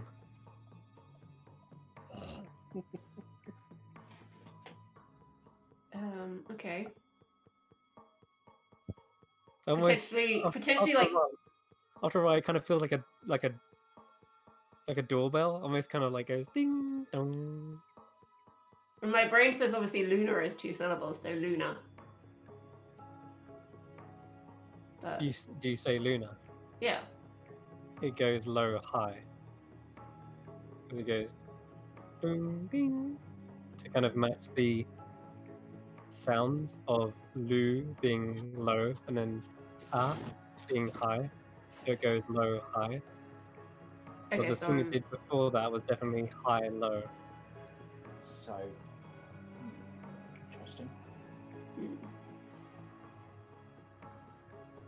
We can't say. but uh, it's an interesting note that this thing is definitely intelligent. And all this time, Irina, all the notes have been inside your head. Hmm. And you take that to mean that you have likely attuned to the crystal. I made friends with the ship. I well, I think I did. I, don't, I can't confirm this. it could have murdered me in my sleep still. Uh, okay, that's a start. So that's that's good. That's good. Um, I'm I'm gonna give the crystal a pat and be like, all right. Um, I'm gonna go before I get frostbite and my fingers fall off. Hmm. Um, I'll uh, I'll come back in the morning to say good morning. Hmm. Um, and I'm gonna sort of uh, stumble my way to try and find where Andy is with Candlewick so I can warm myself up. Probably up As in you the give it a small- probably sleeping with Candlewick, cuddling onto it. As you give it a small pat, just like a, a good crystal, uh, you do feel a slight pulse of warmth come from it. It seems like it perhaps tried to. Perhaps to, I mean, roll one last insight check. Let's see what that meant. Natural 20. It has you've been speaking its language, or rather trying to communicate on a level that it can understand. And it seemed like the first time, as you go to leave and you're patting it, it tried to communicate in a way that you would understand, a language that you would understand, which I'm hoping that um, warmth, temperature, and uh, because it seems like it knows, perhaps when it was assaulting Candlewick, perhaps there was some communication between the two then, and it definitely understood that Candlewick communicates via temperature. You can imagine if Candlewick was being like pushed away, he would definitely get heat. Uh, he'd get hot and try to like push something away with heat. But uh, yeah, Okay, um, I'm gonna try and shout for Andy because I don't think I can climb the crow's nest. Does she? Would she? Would she hear this? She's fast. She's asleep. that's true. Yeah, she would be asleep. Oh. I'm going to freeze to death. Okay, um, Taklo would probably hear you because I don't imagine him really sleeping much, just or not Okay. much. Just that that'll that'll do the job. Uh, uh. Um, Taklo, Yeah, what's up? I need you to do me a favor. Just uh, fly up. She can't really lift her arms up there. Uh, Um, just you, if if you can throw Candlewick down, or better yet, wake Andy up so she can bring him down. Big help. Okie dokie. Um, so Taklo will fly up and just sort of. I'm honestly picturing Andy literally cuddling it like it's a teddy bear. So he just stares for a moment, just like, hmm, hmm, and then just like, sort of taps her on the shoulder with his tail, just like, um, Andy. Um, Well, I would imagine she's not a very heavy sleeper considering Yeah. her past. So Yeah. she probably kind of, she probably wakes up just from a light nudge or tap or whatever. And just kind of Mm. looks at Taklo a bit bleary eyed. Um, Andy would like Candlewick back now, if that's okay. But I'm Andy. Um, Irina, Irina. right. Taklo's like, oh yeah, sorry, I'm still getting used to you guys. I should know Irina though. I, She's the reason Yeah, I- here. I, I just got woken up, so anyway, well, sort of. Anyway, so yeah, Irina would like to Candlewick back. She's Okay. down at the bottom. She would have climbed up, but she appears to be. Honestly, she almost looks like a popsicle. Okay. She's a bit weirded out by that, and it's like, oh, okay. And come comes down with it, and you, she looks at Irina. she- Irina is probably bordering on blue right like- now. You are a popsicle. Give. You know, she she hands it. over. It's like, don't you produce your own body heat? No, that goes to him. And she just points to the scabbard. Well, that's stupid. There's always a downside when you make a pact with something and you're separated from it. Mm-hmm. And she's just like rubbing like the feeling back into her arms using the scabbard. Mm. Back scratcher. Remind me never to make a thing. And she just heads back up to the Yeah. crow's nest. Oh, all right. And Irina, do you go back to your bed? Well, no, because my bed is on the deck because I don't have a room downstairs when I'm sleeping. Um, In case of nightmares. so she's going to sleep Oh. on deck, but she's just going to sort of um, wrap Candlewick in like her coat and just be like, uh, never moving. There's three people sleeping on deck. Sure. There's so many beds down there, but you decide no. Well, Until we fireproof a room, she ain't sleeping. Wait, who's, Nowhere who's down sleeping on deck? Me Oh, and Andy. And, I mean, Carius, Carius is sleeping on deck for the time being, just until he's more used to the ship purely, so that he, if something goes wrong, he can get to the helm quicker. And besides, he's used to being on a ship, and quite often he'd be like almost like on the prow of the ship, like. Hmm. But he'll just stay here. He's enjoying the night light that is the glowing crystal. All right. So the night descends. Can we just take a really quick break? Yeah, and we should. go for a quick Just while minutes. it's quiet. Thank you. Yeah. We'll be right back. Ye-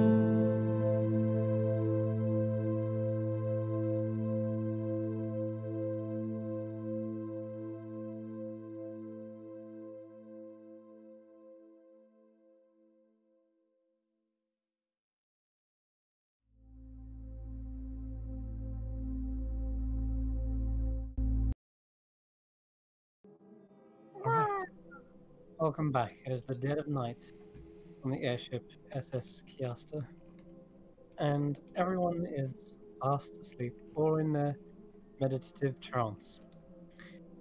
Three of the party are on top three of the party are atop the deck, trying to get to sleep.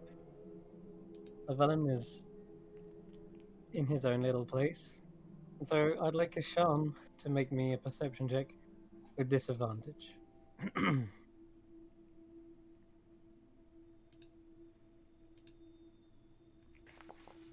Natural. Oh god. cool. Alright. Uh, am I technically being assisted because I have Egbert? No. Why not? Even He's if listening was, as well. even if he was, it'd be a flat roll, and you only rolled once, which is your first roll, so it'd still be a natural one. All right, Good point. cool. You hear nothing but the slow creaks of the ship as you sail on. That's it. Cool. oh, thank God. Um, I don't buy it. There's something off about that. Fine, let me just check to see if I had inspiration. Give me a second. It's I fine if we get marooned by like seagull pirates.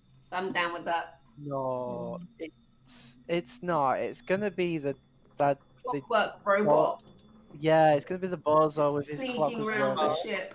in the morning, I'd like everyone on top deck to roll me a perception check. With or without disadvantage. This is normal. Yeah, you're coming. You're awake. You're well. You're waking up. Here's an interesting thing. Maybe me. Thank you. Am I able to see through my book when the book is on the boat? Yeah, but your book's not in the boat, is it? It's in the. No, no, no. no I, I left it outside my room. Get a 23 from a 10. No, you didn't tell me you'd done that. What, sorry? Uh, You didn't tell me you'd done that. No, I put it in the in the chat because. it I would have assumed it'd be with you because you need it to cast a spell. Okay, I was just wondering if if I, that could happen. Um, potentially, but you would, you would need it in order to cast the spell. What about what about my raven? Raven could probably chill outside. Yeah. but- Just just wondering if it cancels out any spells being in such a space or any magical effects. Well, if you want to do that next time, sure. But Okay. for now, we've already passed. We've already gone on. Oh no, So- thought- I wasn't gonna do a perception check. I was just checking. Carius, you're uh, fast asleep. um, however, Andy, I thought it would be Andy because she is at the highest point on the crow's nest, so this makes perfect sense. Andy, you wake up to the sound of a horse whinnying. That's not a best horse impression, but it's something like that.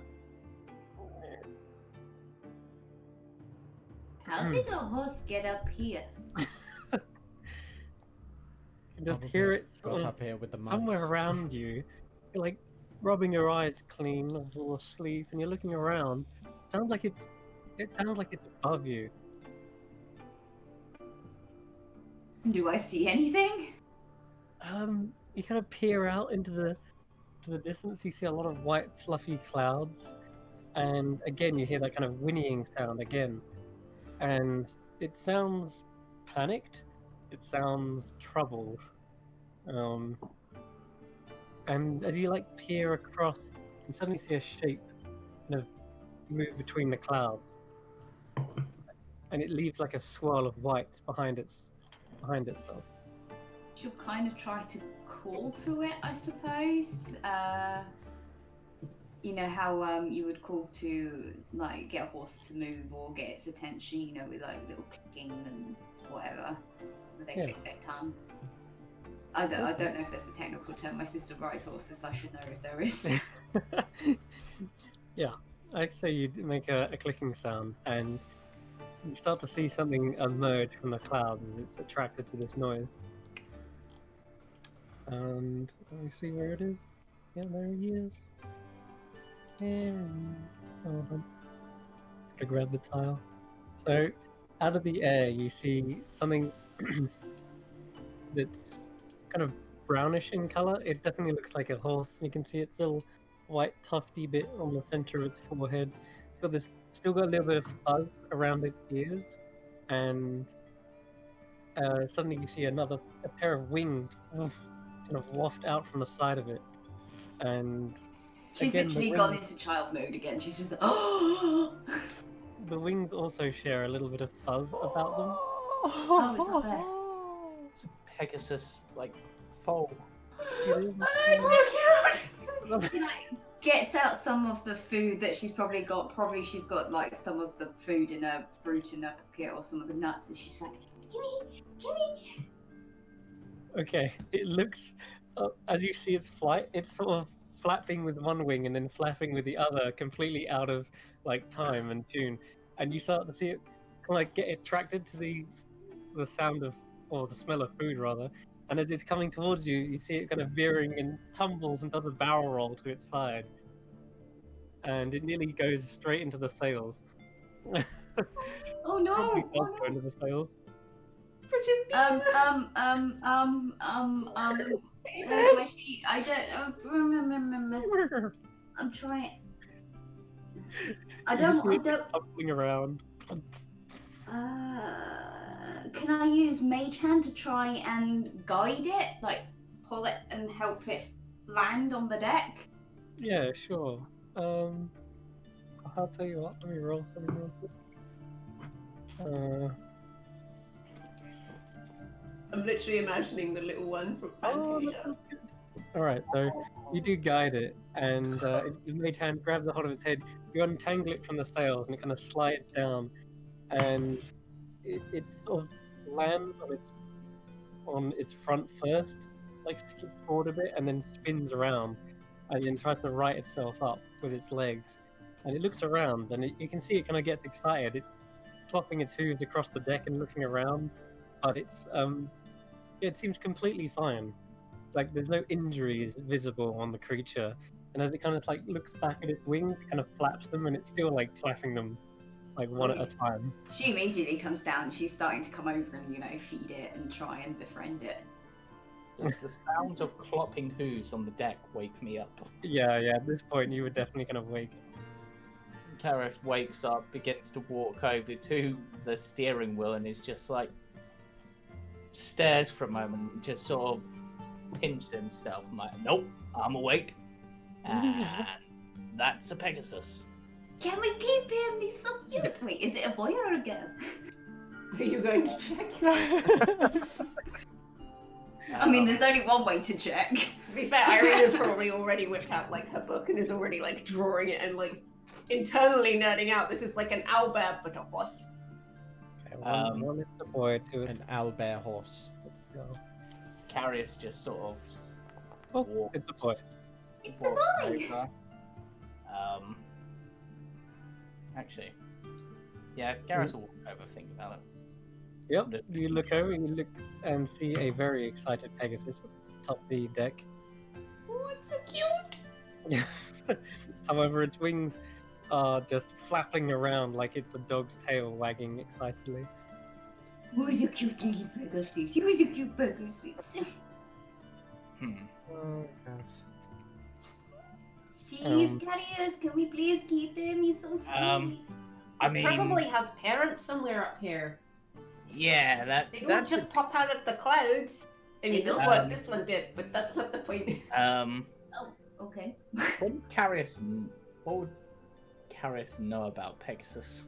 Because I can, I know what language they speak normally, but not Carius might not. You know that they do not speak a language, but that they do understand language. Hmm. Okay. Uh, let me just ch- check something. Right. Uh, they understand language, but right. So I'm going to via Taklo telepathically communicate it the simple idea of just calming down and relaxing, because Mm. Can do that. Okay. So, um, hey, you try to like calm it down, and in its excitement, it seems like it's completely forgotten all about uh, what it was doing before, and uh, it looks around to you, kind of like tilts its tilts its head, Carius. Does seem to understand maybe some of what is being said, but um, it's obviously very, very young and likely not intelligent enough to know everything yet. But Hmm. Still. Okay. after it sort Um, of calmed down for a moment, um, you suddenly see it like looks like it remembers something, and it turns its head round and looks up again into the sky, looks around, and it starts like flapping its wings, trying to like get up and I think into he's the air. lost. Yeah, Carius actually will say that. Um, excuse me, are you lost by any chance? Um, it's, There's it your mama and papa. it stops and, and then turns around and uh, it it it goes to nod slightly and then quickly shakes its head and then it Uh. Seems, a little confused on that one. Are you looking for something or someone? It starts uh, kind of like clip clip clopping on the ground like really really fast, and then it does a little. It runs around in a circle.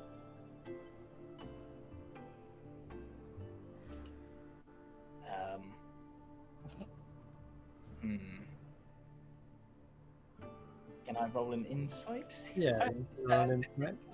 it's trying to purvey? Yes, 18. you get the sense that it is running from something. Oh. Right, well, And you're then- safe aboard the Kiasta. It then um, goes up towards Andy and um, just slightly nuzzles into their cloak, and then and then looks up again into the sky. It's And, uh, little feather, we'll look after you. And sort of like wraps her arms round its neck and all that. Does it seem to be specifically trying to nuzzle into Andy or nuzzle into Andy's cloak? nuzzle into Andy for some sort of protection, but then straight afterwards, and as you kind of like go to pat it and calm it down again, it seems to get this look of concern and rushes out to the deck balcony and then looks out across it, and it looks to be looks to be looking for something. Can I crack out the uh, spyglass and start looking around in the direction that it's? Yes, you can roll me a perception check with advantage.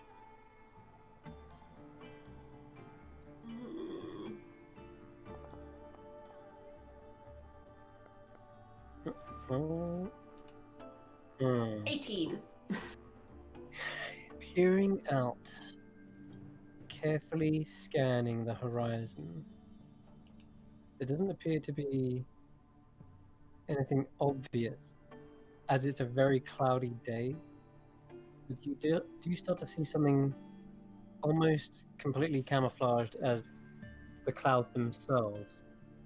A white feathered wing just barely crests behind one of the clouds and kind of wafts into it. And with an 18, you start to see something else. Another darker shape. Looks to be, again, another pair of wings. And about five seconds after the pair of white feathered wings went behind that cloud, that darker set of feathers go behind it. Does it look like they're like flying together or one is chasing the other? Yeah, with it being five seconds apart, you can likely guess something is chasing. Yeah, but is the dark wings chasing the light wings or are they fleeing together from something? Hmm. It seems as though one thing is trying to lose something within the clouds. It's like using the clouds as cover, like as if a, as, like a, a, a monkey would hide in the trees using the leaves. It's trying to use the clouds to lose its predator. Wow. But whatever they are, they're both feathered. You just caught the air, caught the um, wings of the each. Carius sort of twirls his glaive and like well, looks like something might need a hand. Uh, do we steer the ship over there, or are we going ourselves? I mean, go for the element of supply. Surprise. Um, this thing's a bit inconspicuous, really. Um, Right. And if it's after the little one, we're better off keeping him down here. Right. It probably won't be comfortable going below deck. Um, Andy, do you want to look after the flying horse? Yes, please. Didn't Um, take much. If you stay here and look after the horse, I'll go have a look to see if I can see what it is. I guess. Um, Maybe you can lure it down out of the clouds if it, if whatever is being chased is probably its parent, so we could probably protect it down here. Yeah. Right. So. Don't do anything stupid. Carius, take loads of fruit and nut with you. yeah, Carius takes some, probably would have some anyway. It's just like, right, I'm going to leave Taklo with you just in case I need communication. And then Carius is just going to go, right, off I go. I'm gonna keep looking through the spyglass, but I'm gonna track where Carius is going Okay. and try and keep an eye on these shapes. Okay, as you keep an eye on the shapes, you see a, a very long tail. You just catch the end of it, and it seems to whip around through the clouds, like swooshing them, almost trying to separate them and disperse them. Uh, the tail looks to be long, leathery, almost like a rat's tail, and at the end there seems to be these tiny little spines as well. And uh, the rest of you guys down below, Kashan, you definitely woken up to the sound of hooves clip clopping on the deck, and Lavelle, your spell would have also come to an end. It's 24 hours. Well, you can either stay in there for the full day if you really want, but you know it would be about morning this time. You probably have woken up. I'd just be working on things Okay. until Alright. someone. So he's So- ignoring everything that's happening. That's fine. I'm not. I'm. I'm. I'm technically not on the ship right now. So, considering um, that this thing seems to be wanting to get rid of the clouds, and the other thing wants to be hiding in the clouds, Mm. let's add some more clouds. Okay. I'm gonna cast it. What? Is that button to cast? No. That one. I'm going to cast fog cloud, All right. Fog cloud. but I don't know where to place the measured template. Um, Uh, you can just place it above the ship somewhere over here. where'd it go? It disappeared. I don't know Did it? how to track that back out. Yeah. Uh, Um, Uh, do you want to go? No, I can do this. Uh, I'll just temporarily restore the spell slot, and I'll cast it again. Now give me the thing. Uh, You could just do something like that. I don't know. How big is it? 30? 20 foot. Huh. there you go. Okay, about that. Cool. All right. So you begin crafting and producing this cloud to try and just stop whatever this hunter is. And at this distance, Carius, I'd like you to also make a perception check. This is based on hearing. Uh, I don't have any bonuses based on that, as far as I'm aware. You can just about hear the kind of billowing of wings, perhaps. But it seems to be a sound that something's making. Um, you're not sure whether it's. Maybe it's just the wind whistling around, but it. You can't really make out what sound it is making. It's it's obviously you're flying quite a distance as well, so you've got that. uh, like kind of billowing of wind in your ears, kind of drowning out a lot of things. Nonetheless, uh, you're getting right up next to it. So, um, how far out did you fly? Just uh, so I know. Uh, well, how far away was it? I'm basically flying up to it as much as I yeah, that's a can. good point. Also, you've flied out like at least um, a few hundred feet. Yep. And you're creating these clouds to try and distract and cover whatever this thing is. Yeah. And uh, well, I guess I'll have to roll a perception check with disadvantage. And the other thing can make a stealth check.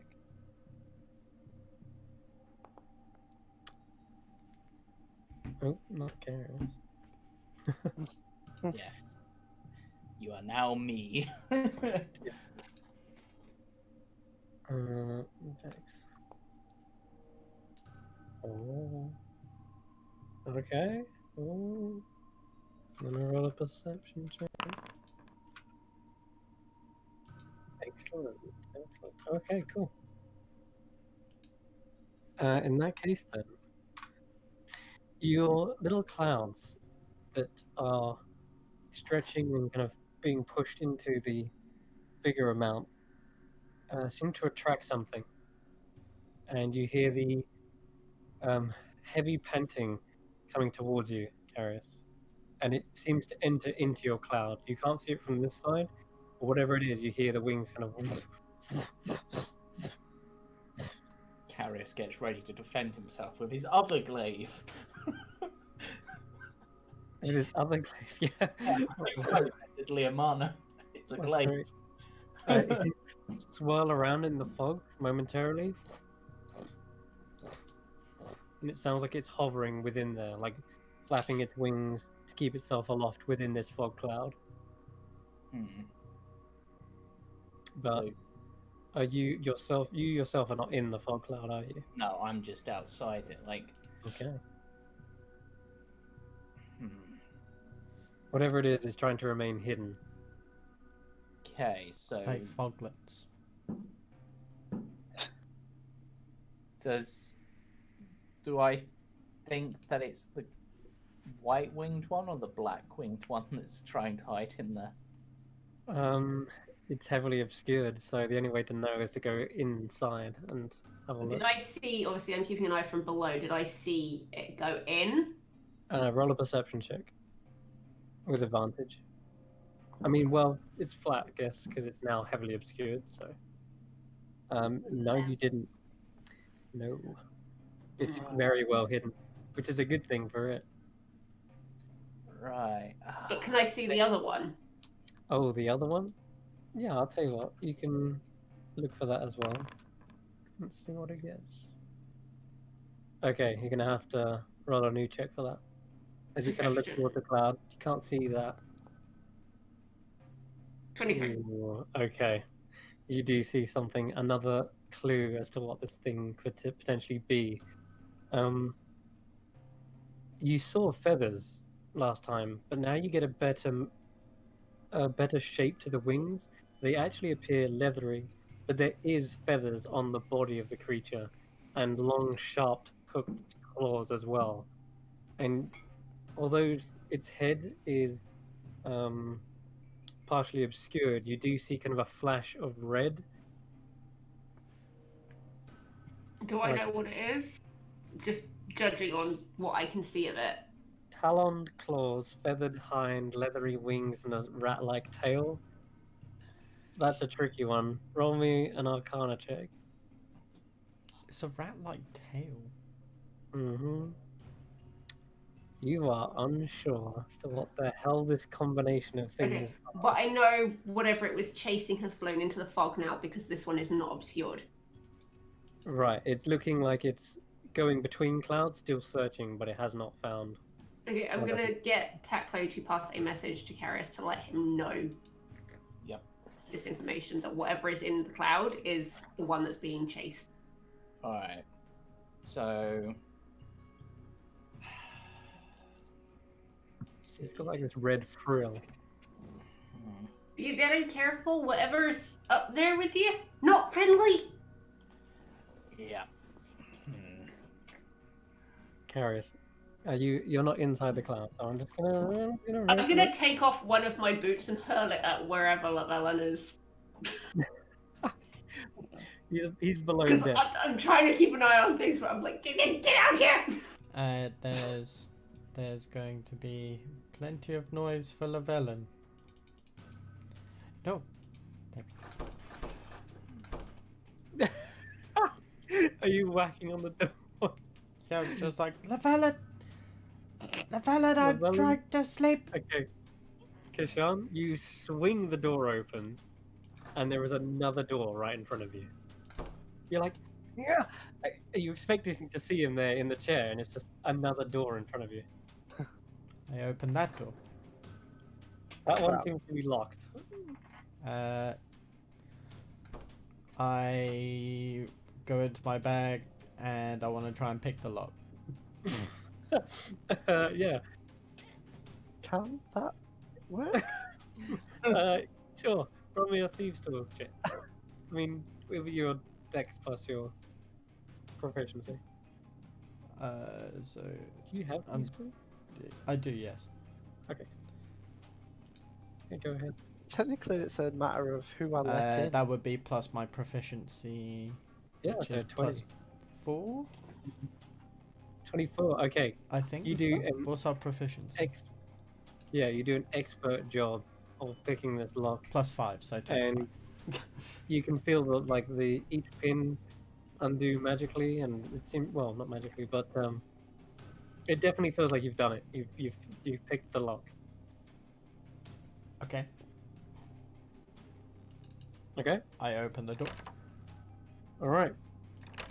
You open the door, and you see a beautiful foyer with columned pillars, and there seems to be vines draped around them. Ah, you took and, that. tre- and There's no sign of him though. large silver trees with blue leaves. Oh yeah, large silver trees with blue leaves. And you see a, a twin set of staircases, like going around to a balcony. I'll There just seems to be doors to the left and right. I'll just shout, Lavella, Yeah. we need it. Oh, already? Yep. Okay. It, you just see him come rushing like down. Oh like, my god, left it's your magic hut, isn't it? I walk in. Uh, you walk in and you go smack into like a pane of glass. Oh, I need to actually like, and I just click my finger and he can step through. Yeah, and then you kind of uh, fall forward. And I we come need to talk about this, down. but we we we need to go. building a thing. What's happening? I don't know. Give me I a hear a lot summary. of shouting and what sounds like a horse upstairs. A Um, horse uh, in the sky? I don't know. I, th- Did it have Let's- wings? I don't know. A horse with wings? That's stupid. It's a horse Think with about what you just said. Yeah. Uh, one of them. Right, Not the so- first time. Yeah, no. Right. Come on. As you say that, and Kashan rushes out of the door, uh, which Can't you'll, move. you'll be Sure. rushing. Yeah, I know. 'cause I paused it. Okay. But just It- such an occasion. So, as this happens, um, you still outside the cloud Carius, and this thing, Oof. natural twenty, spots you. It sees what is outside of the fog cloud, and you suddenly see, Carius, a beady, bright eye, eye like kind of flare up and actually emits light. And it feels like you're being painted with a laser targeting system because you can feel something in your body shifting, changing slightly. Slight fear is kind of tingling through your spine. And as it locks eyes on you, you hear this almighty squawk. This that echoes out into the sky. Oh my god. As the huge thing flies towards you, I need everyone to roll initiative. Oh, And if you back click the combat tracker, you should have it all there. Uh, combat tracker. Uh, which one's the So combat tracker? It's that one, isn't it? So, yep. So I will. Hey. Uh, I forgot how you do it. Uh, just click on the dice next to your name. In the combat track, which is the little fist. What the? Oh, Oh, come on! I thought it was gonna be like a scary fight, but no. What is that? scary fight. What is that? That's not what I think. That's a cockatrice, isn't it? It is indeed a cockatrice. That was Ah, don't don't throw petrification at me. That's mean. No. Wait, petrification. Okay, never Yeah, mind. This will do. As I've said, Carius feels this slight tingling within his body, a fear that's deep set, but you look towards the creature and it has not petrified you with its sight, but its beak is very sharp. That's all I'll say to that.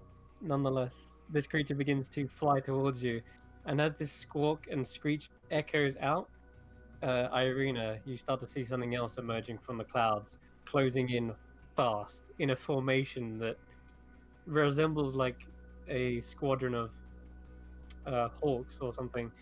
Regardless, it looks like a flock of birds coming straight towards you, and uh, you reveal them onto the map. No.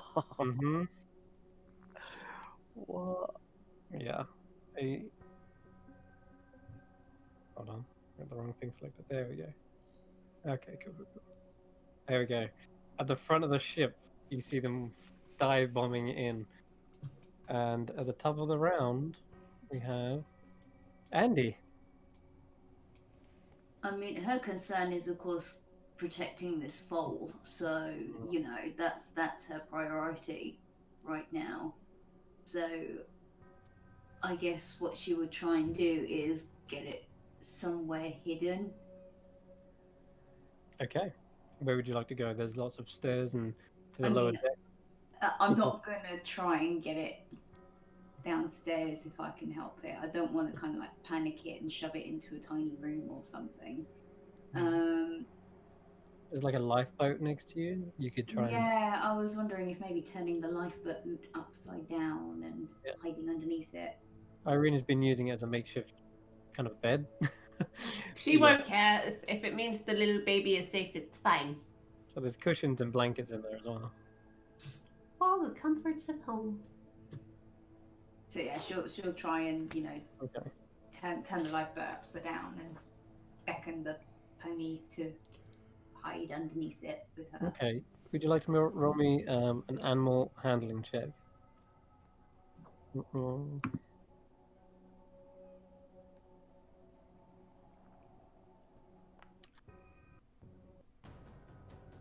Nice. 23. Well, okay.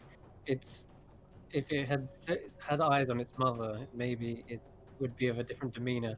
But right now, it trusts you, and is going to follow your follow your lead, and it hides right underneath the uh, lifeboat, fully protected and fully contained in there, and it kind of just hides under the blanket as well for good measure. Yeah, she would she would throw one of the blankets over it and just kind of like stroke it and you know probably you know even sing it a little song to try and help calm it like a lullaby or something. Hmm. All right. Um, I guess that takes your action, and we'll jump to some of these cockatrices. Uh, let's do begin combat. There we go. Okay,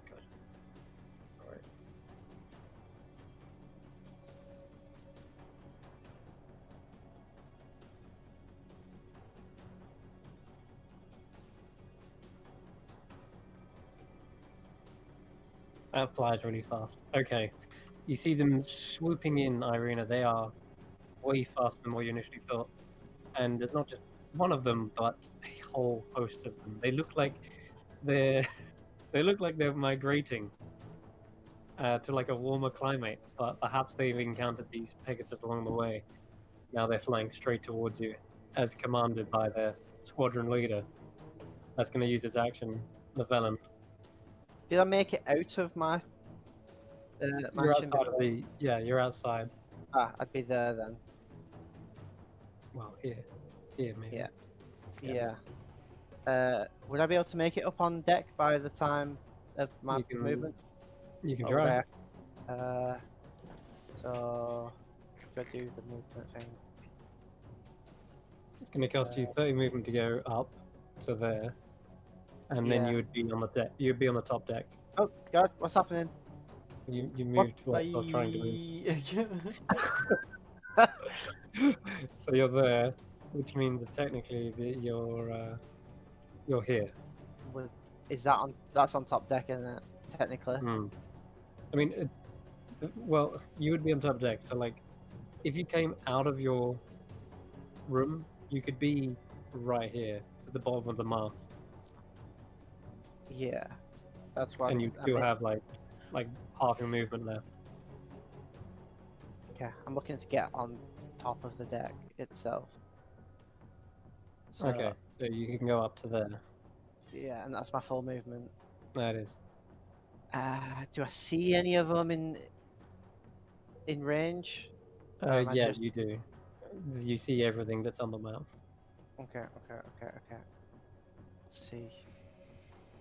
Ah, it's just out of range of what I wanted to do. Right.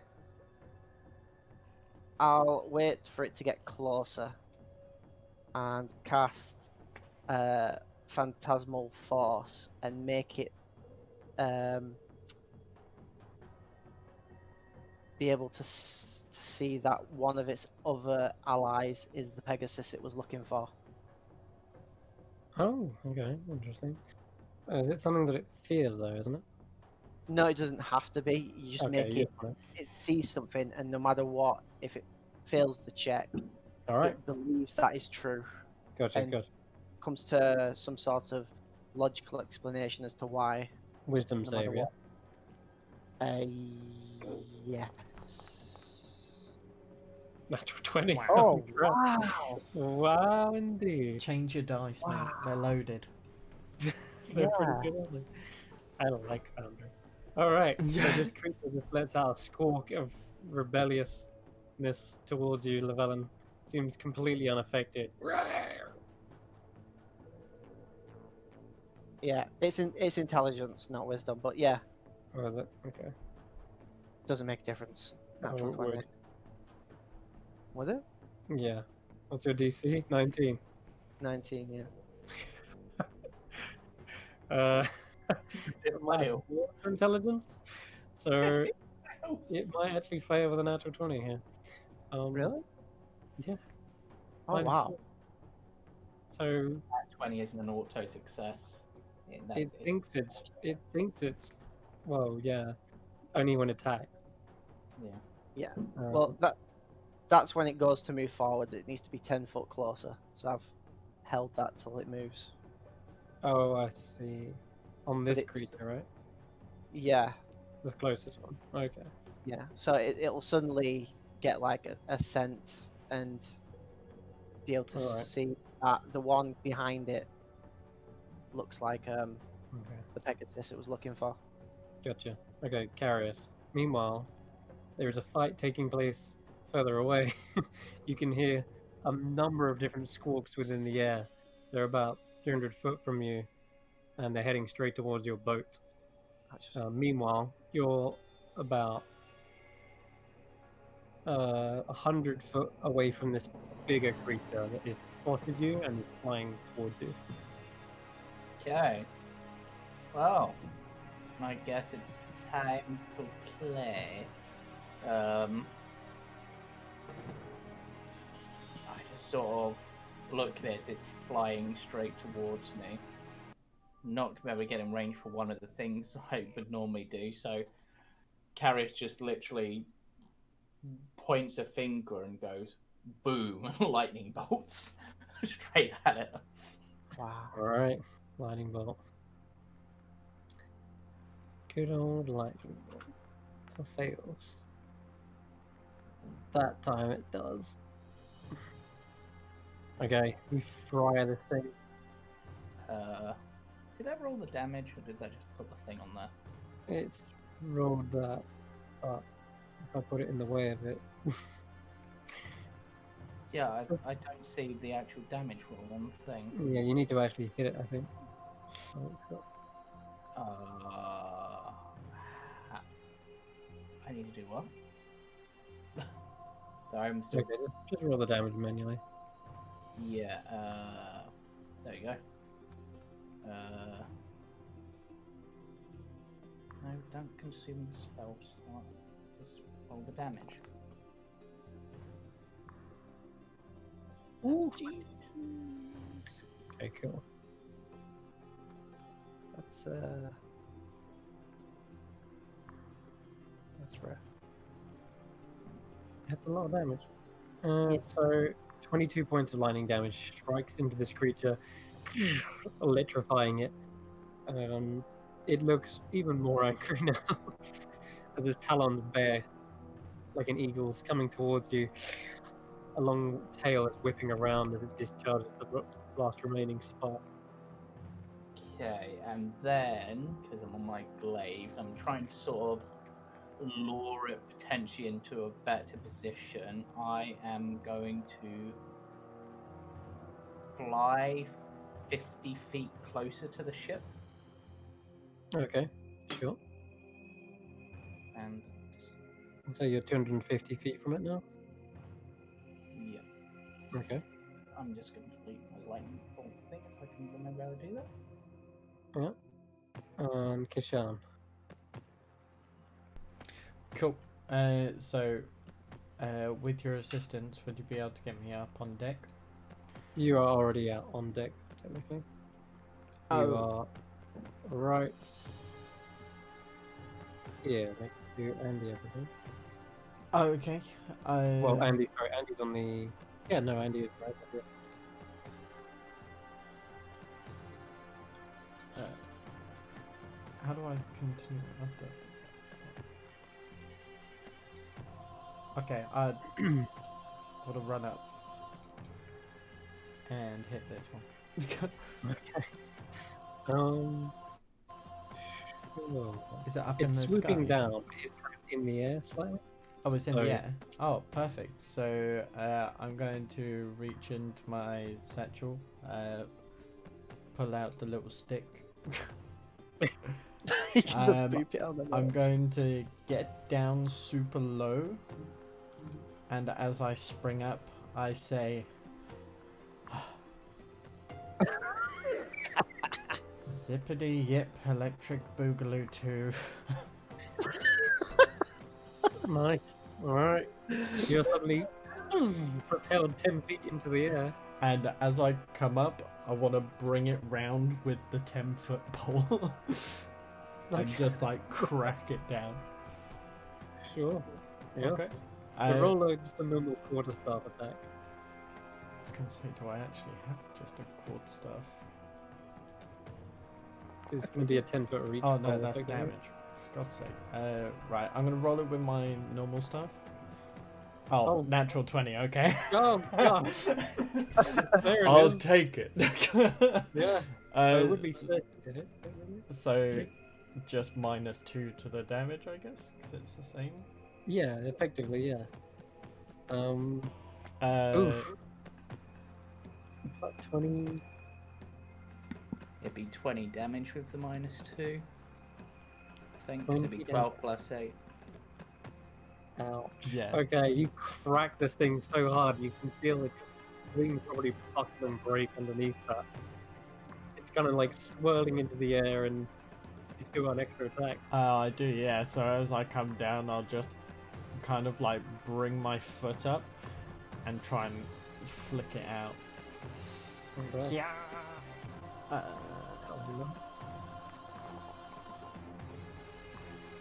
Twenty-five to That's hit. well.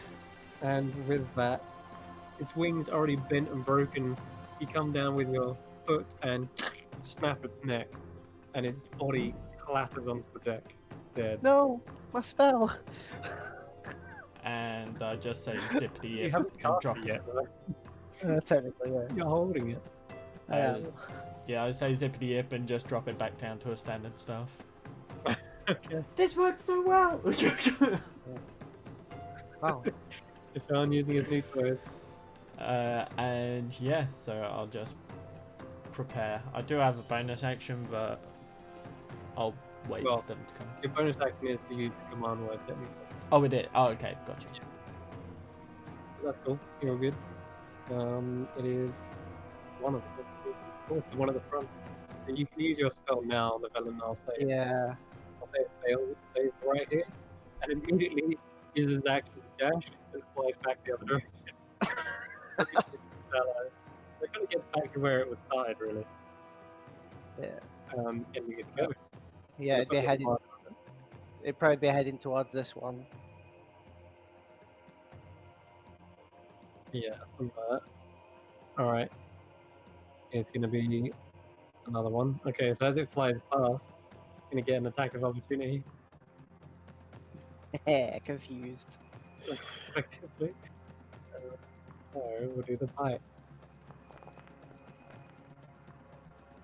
Uh, ooh, it missed its not great. All right, so you see its jaws, its feet snaps towards its ally, and the other cockatoo is kind of like walks and a little, little bit panicked to see its own kind just turn on it. But uh, it's going to keep flying forward as well. So it gets uh, 10, 15, 20.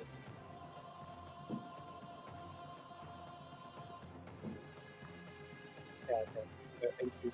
Can I get right up next to you, jump? That's going to end this go. And same for most of these. Which are in the turn order. Yeah, okay. Just gonna move these guys.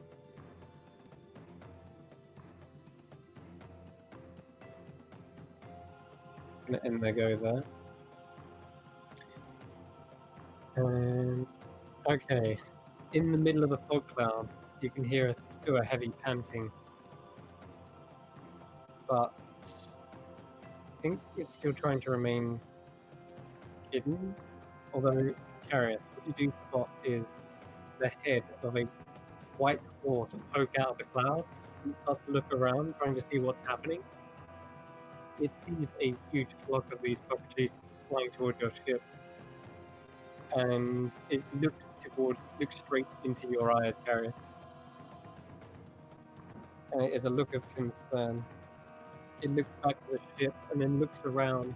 It's definitely searching for something. Carius, in response, will just sort of point in the direction that the thing is and just sort of make like a sort of a clashing sound to suggest that there's a bitey thing in that direction. Okay. Uh, it looks over and. Okay. It's going to hold its action with, whilst still hidden within the cloud. It's so And majestic. it seems to understand you. Okay. Speaking of which, the roosters go. Bring it. Though this would be a really terrible time to get back. Oh my God. God. Okay. It flies straight towards you, swooping on leathery bat-like wings. A tail whips out, trying to hit you, Carius, uh, because Yep. it actually is in reach. No, wait. It has to actually. I think it has to dash to get here. So yeah, you see it's ready to whip in your face, but it's not got there just yet. However, Carius just smiles. Fried chicken. suddenly, um, as it lets out a squawk, you see a hoof come flying from the cloud, and it's with advantage.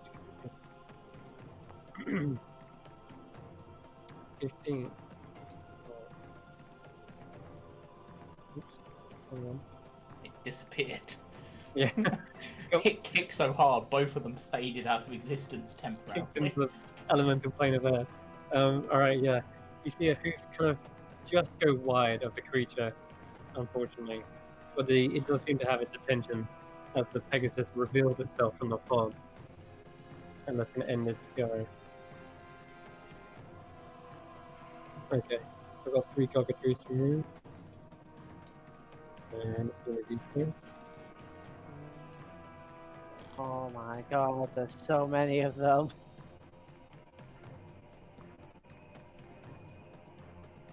There we go, we'll leave them there. And I believe we finally have Irina. Okay, um. Uh, okay. Okay.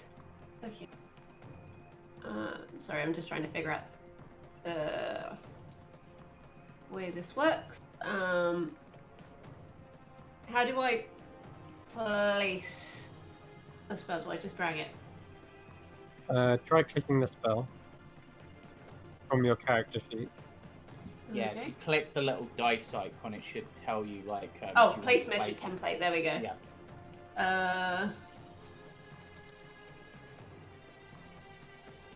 Mm, And we're gonna stick it Ooh. there. Okay, that hits a good four of them. And it's a intelligence save. So, That's a terrible damage roll, though. Look at that. Ooh. okay. Well, you'll have Lovely spell. four. Oh, and the very int score. Uh, they all fail. So it's still full 22 damage to all of these creatures. Um, and then also on their turns, they roll a d6, and that gets taken away from their attack rolls and ability checks. Okay.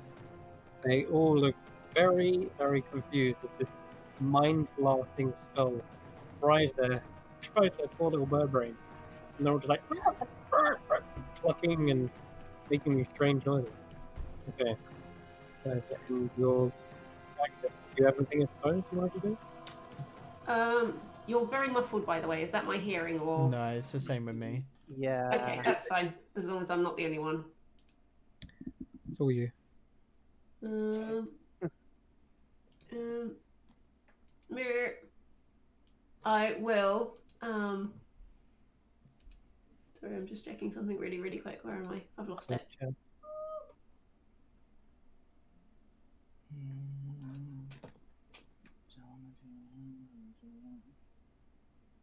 Um.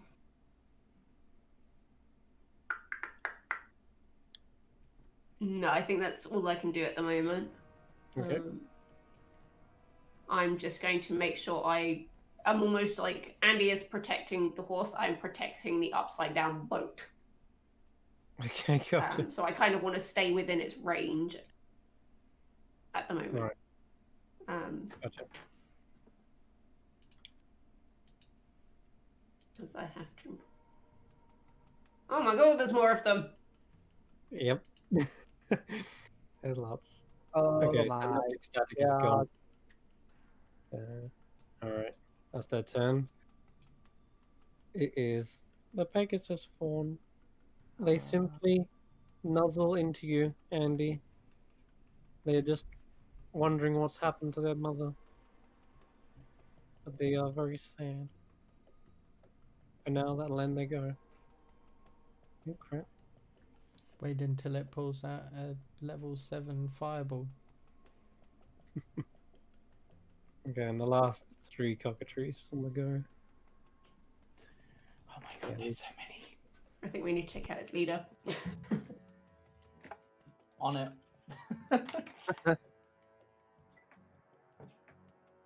Oh my god. right. Mm-hmm. Lavella, What is...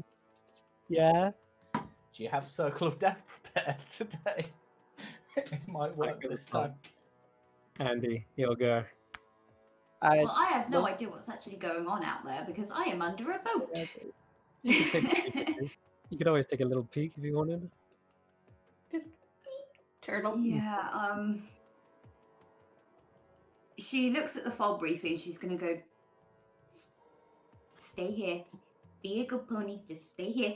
And she'll just as you'll just jump out for a second, um, towards the other side, so like on the other side from where Irina is. Mhm. And this, I this is this is a this is me trying to do something clever. Um,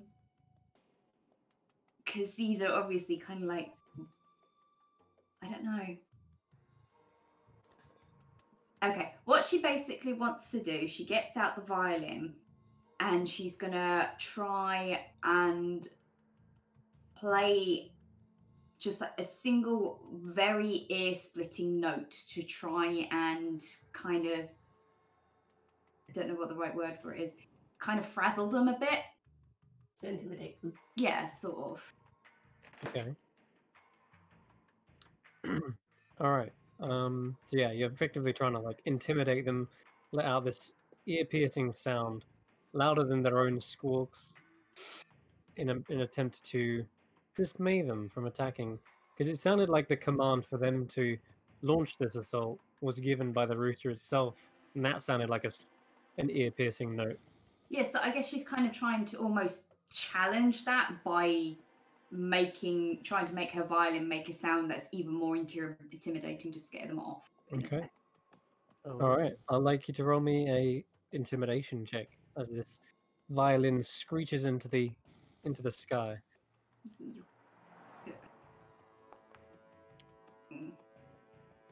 Uh, a 16. Okay. Let's see here. It seems like a couple of the creatures are a little bit taken aback. But then you hear from the distance, as it, this creature has also heard it, it lets loose its own kind of screeching squawk again, trying to push them on and command them to Oh, come on. ignore this. effect. Come on. Fail Uh, it. one second. Come on, Andy. Lord of the cockatrice. Doop, doop, doop. Oh! Yeah. Well, the uh, command of this rooster has been delayed as the, all these cockatrices in unison sort of freeze in their flapping wings uh, for just a quick instance. They are frightened of you, Andy. Woohoo! That's good. They can't go further forward. Okay, Llewellyn, what are you up to? Uh, uh, right. I'm gonna blow them up. Oh god. Okay. They're all in a decent. Well, mo- majority are in a decent position to. Uh, can I drag this out? Am I able to drag this out? Ah, Try yeah. clicking it. Try, Uh, try clicking your spell from your sheet.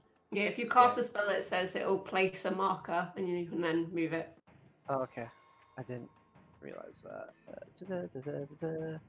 New tools, Where- everyone. Fun, but there's the learning curve. Yeah. Cast spell. Yeah. Is it doing it? Oh, there you go. Let's see. What's best? Five. uh, I'm gonna do it. The right in front of Kashan's face. Is he taking it? Oh, it's another No. smaller spell. Okay. It's a fireball. Nice. All right. It didn't roll the fireball onto the chat though for some reason. Yeah, you need to. Weirdly, it doesn't also seem to roll the damage. I don't know why. Um, for those ones. Slash R eight d six.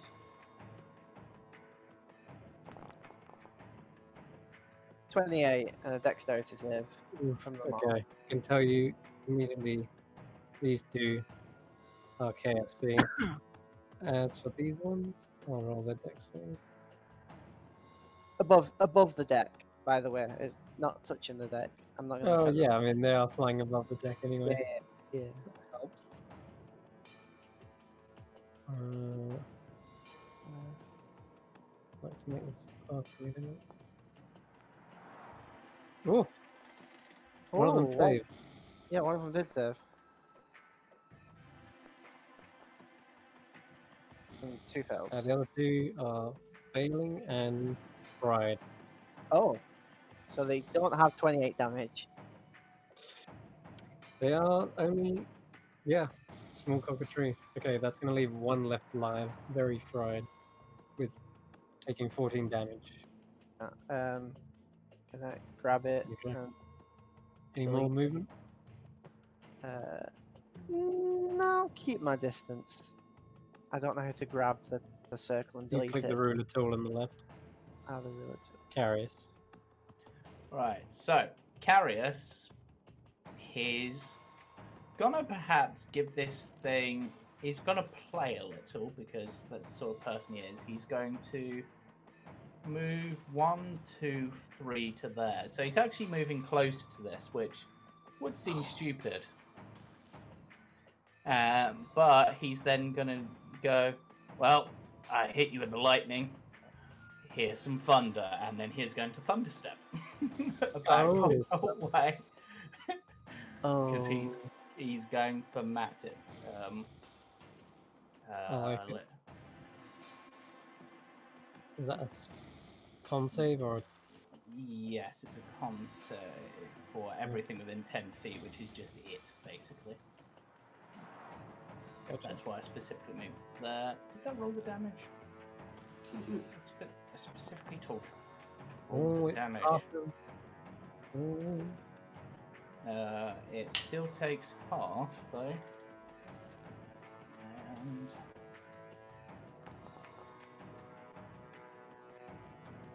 Twenty-one to eleven. yeah, and then I so I've moved so I moved 15 feet to get there. I then teleport so I was 250 feet away from the ship. Yeah. I then went 265. I've then gone back 90, so I'm at 175. And then I'll continue the rest of my 35 m- movement, bringing it to 140 Cool. All right. feet. So That's Right. far too much math. there you go. You can see, Carius, you've got a little thing above your head yeah, that says 140. Cool. yeah. There you go. I'm basically trying to lure it back to the ship, but also do some damage as I do so. Yeah, that's quite clever. Hey, what? Yeah. Back- Oh, I'm trying to lure it back to the ship because I want to do the special thing that I got this level, but I need more of them near each other. oh I want to yeah. Oh, them yeah. all. Okay, Deshaun. Your turn.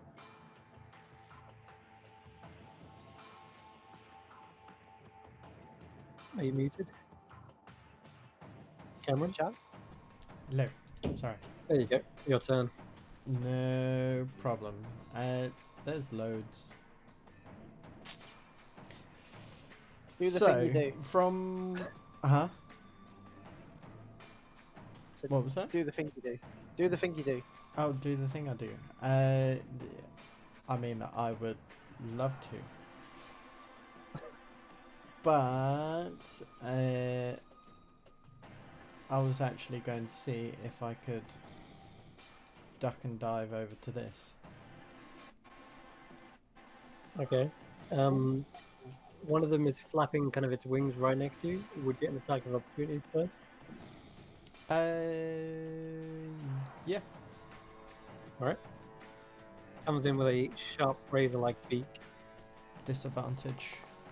Disadvantage. Yeah. And Okay, I with misses miss, anyway, yeah. Okay. Kind of like tears into the wooden mast a little bit. Uh, but you get up to the ballista. And I'm assuming they're already loaded. Yes. Cool. I'm going to aim at the big boy. Oh yes. Alright. Oh yes. Have I told you before what it is? Uh, the cockatrice. No. No, no. uh, I can't remember what you said the damage was for this. Okay. The ballista, Ballista, is right? plus six to hit, three d six. Sorry, three d ten damage. However, it is currently quite distant, so it's going to be disadvantage. Ooh. Oh, really? Yes. But you got plus six to hit. Uh, Do this. Yeah, why not? D20 plus six. Oh no. Uh, yeah, there's no point. But, Mm. Okay. Ah, Oh. Indeed. Okay. You see this bolt fly past two of the cockatrices, kind of let out panic squawks as they do. It zooms towards this creature and it just looks towards this, look looks directly towards where it came from, Kashan, with this eye that kind of glows within the sky. Uh, with my speedy agility, can I try and load it super quick with my bonus action? Um, it cannot be reloaded that quickly, I'm afraid. Uh, Maybe if you had a crossbow expert, I guess. it is, Okay. they are heavy bolts, but I'll just use the rest of my turn to move to this it, one. it takes, it, it takes one action to load the weapon. Um, but there is another one. Yeah, I guess you could jump on that. Yeah. uh, and I do have an extra attack. Hold it. Okay, go for it. Oh god. Disadvantage again. Oh god. Oh, Almost that's not too bad. Oh man, Oh, that's not too Oh, bad. that's good. really good. All right, we realign, and this time, adjusting for the wind, you fire it, and you see the arc straight towards its mark, and lets out this chain score as the bolt sinks into its feathers. Uh, you can roll 3d10. 23 points of damage. That was that was a Oof. chunky hit as well. Oh god, the creature looks pretty wounded at this point. But uh, It's had over 50 damage done to it, I think. it's looking nasty. Yeah. Cool. Right. Uh, I'll just use the rest. Okay. Um, this one is under the illusion of a strange thing, so I'm gonna think it's gonna fly backwards into this guy. And take him One fight. that we can't see. Uh, yeah, it's kind of pecks at this nearest one, still thinking it's attacking its Pegasus target. Yeah. Uh, mm. Hmm. Okay. Uh, that one. It's gonna retaliate. it's got nothing else it can do. Yeah. They're terribly hitting each other though. It's kind of infighting. It's like squawks and clucks. Um, okay. amazing. Oh boy. So this one gonna fly backwards. And you hear a kind of clattering of like wood. It goes out of sight though, because it would fly down below. Trying to get out of line of sight of Andy. and as it flies down here, it kind of goes out of sight. And you just hear a load of clattering of wood. Okay. This one um, gets on this ballista and fires it towards Kashan. if it actually did, that would be hilarious at the same time. It's Instead weighing of up Do you know what? Do you know what? Try me. Yeah, he's the one person where I think it would be hilarious. It's like, ha, this cockatrice is smart enough to shoot you. yeah. Ah, but it's not smart enough to know you're a monk. Oh, no. Um, this Pegasus is going to fly after you, Carius. yeah. It'll I'm probably catch up to you, being that it's got 90 foot, 90 Oh. foot of flight. Yeah, I mean, I mean, I was 206. I'm like 110 feet away from the cockatrice in it, so yeah, we'll be able to catch up and get past it. Yep, it overtakes you. And everyone else sees this beautiful white Pegasus flying at full speed towards the party. Ah, okay, I know. Um, not gonna be much left of this fight anyway. Uh, the rooster is the only one that's not afraid necessarily, and it's gonna swoop after you. Match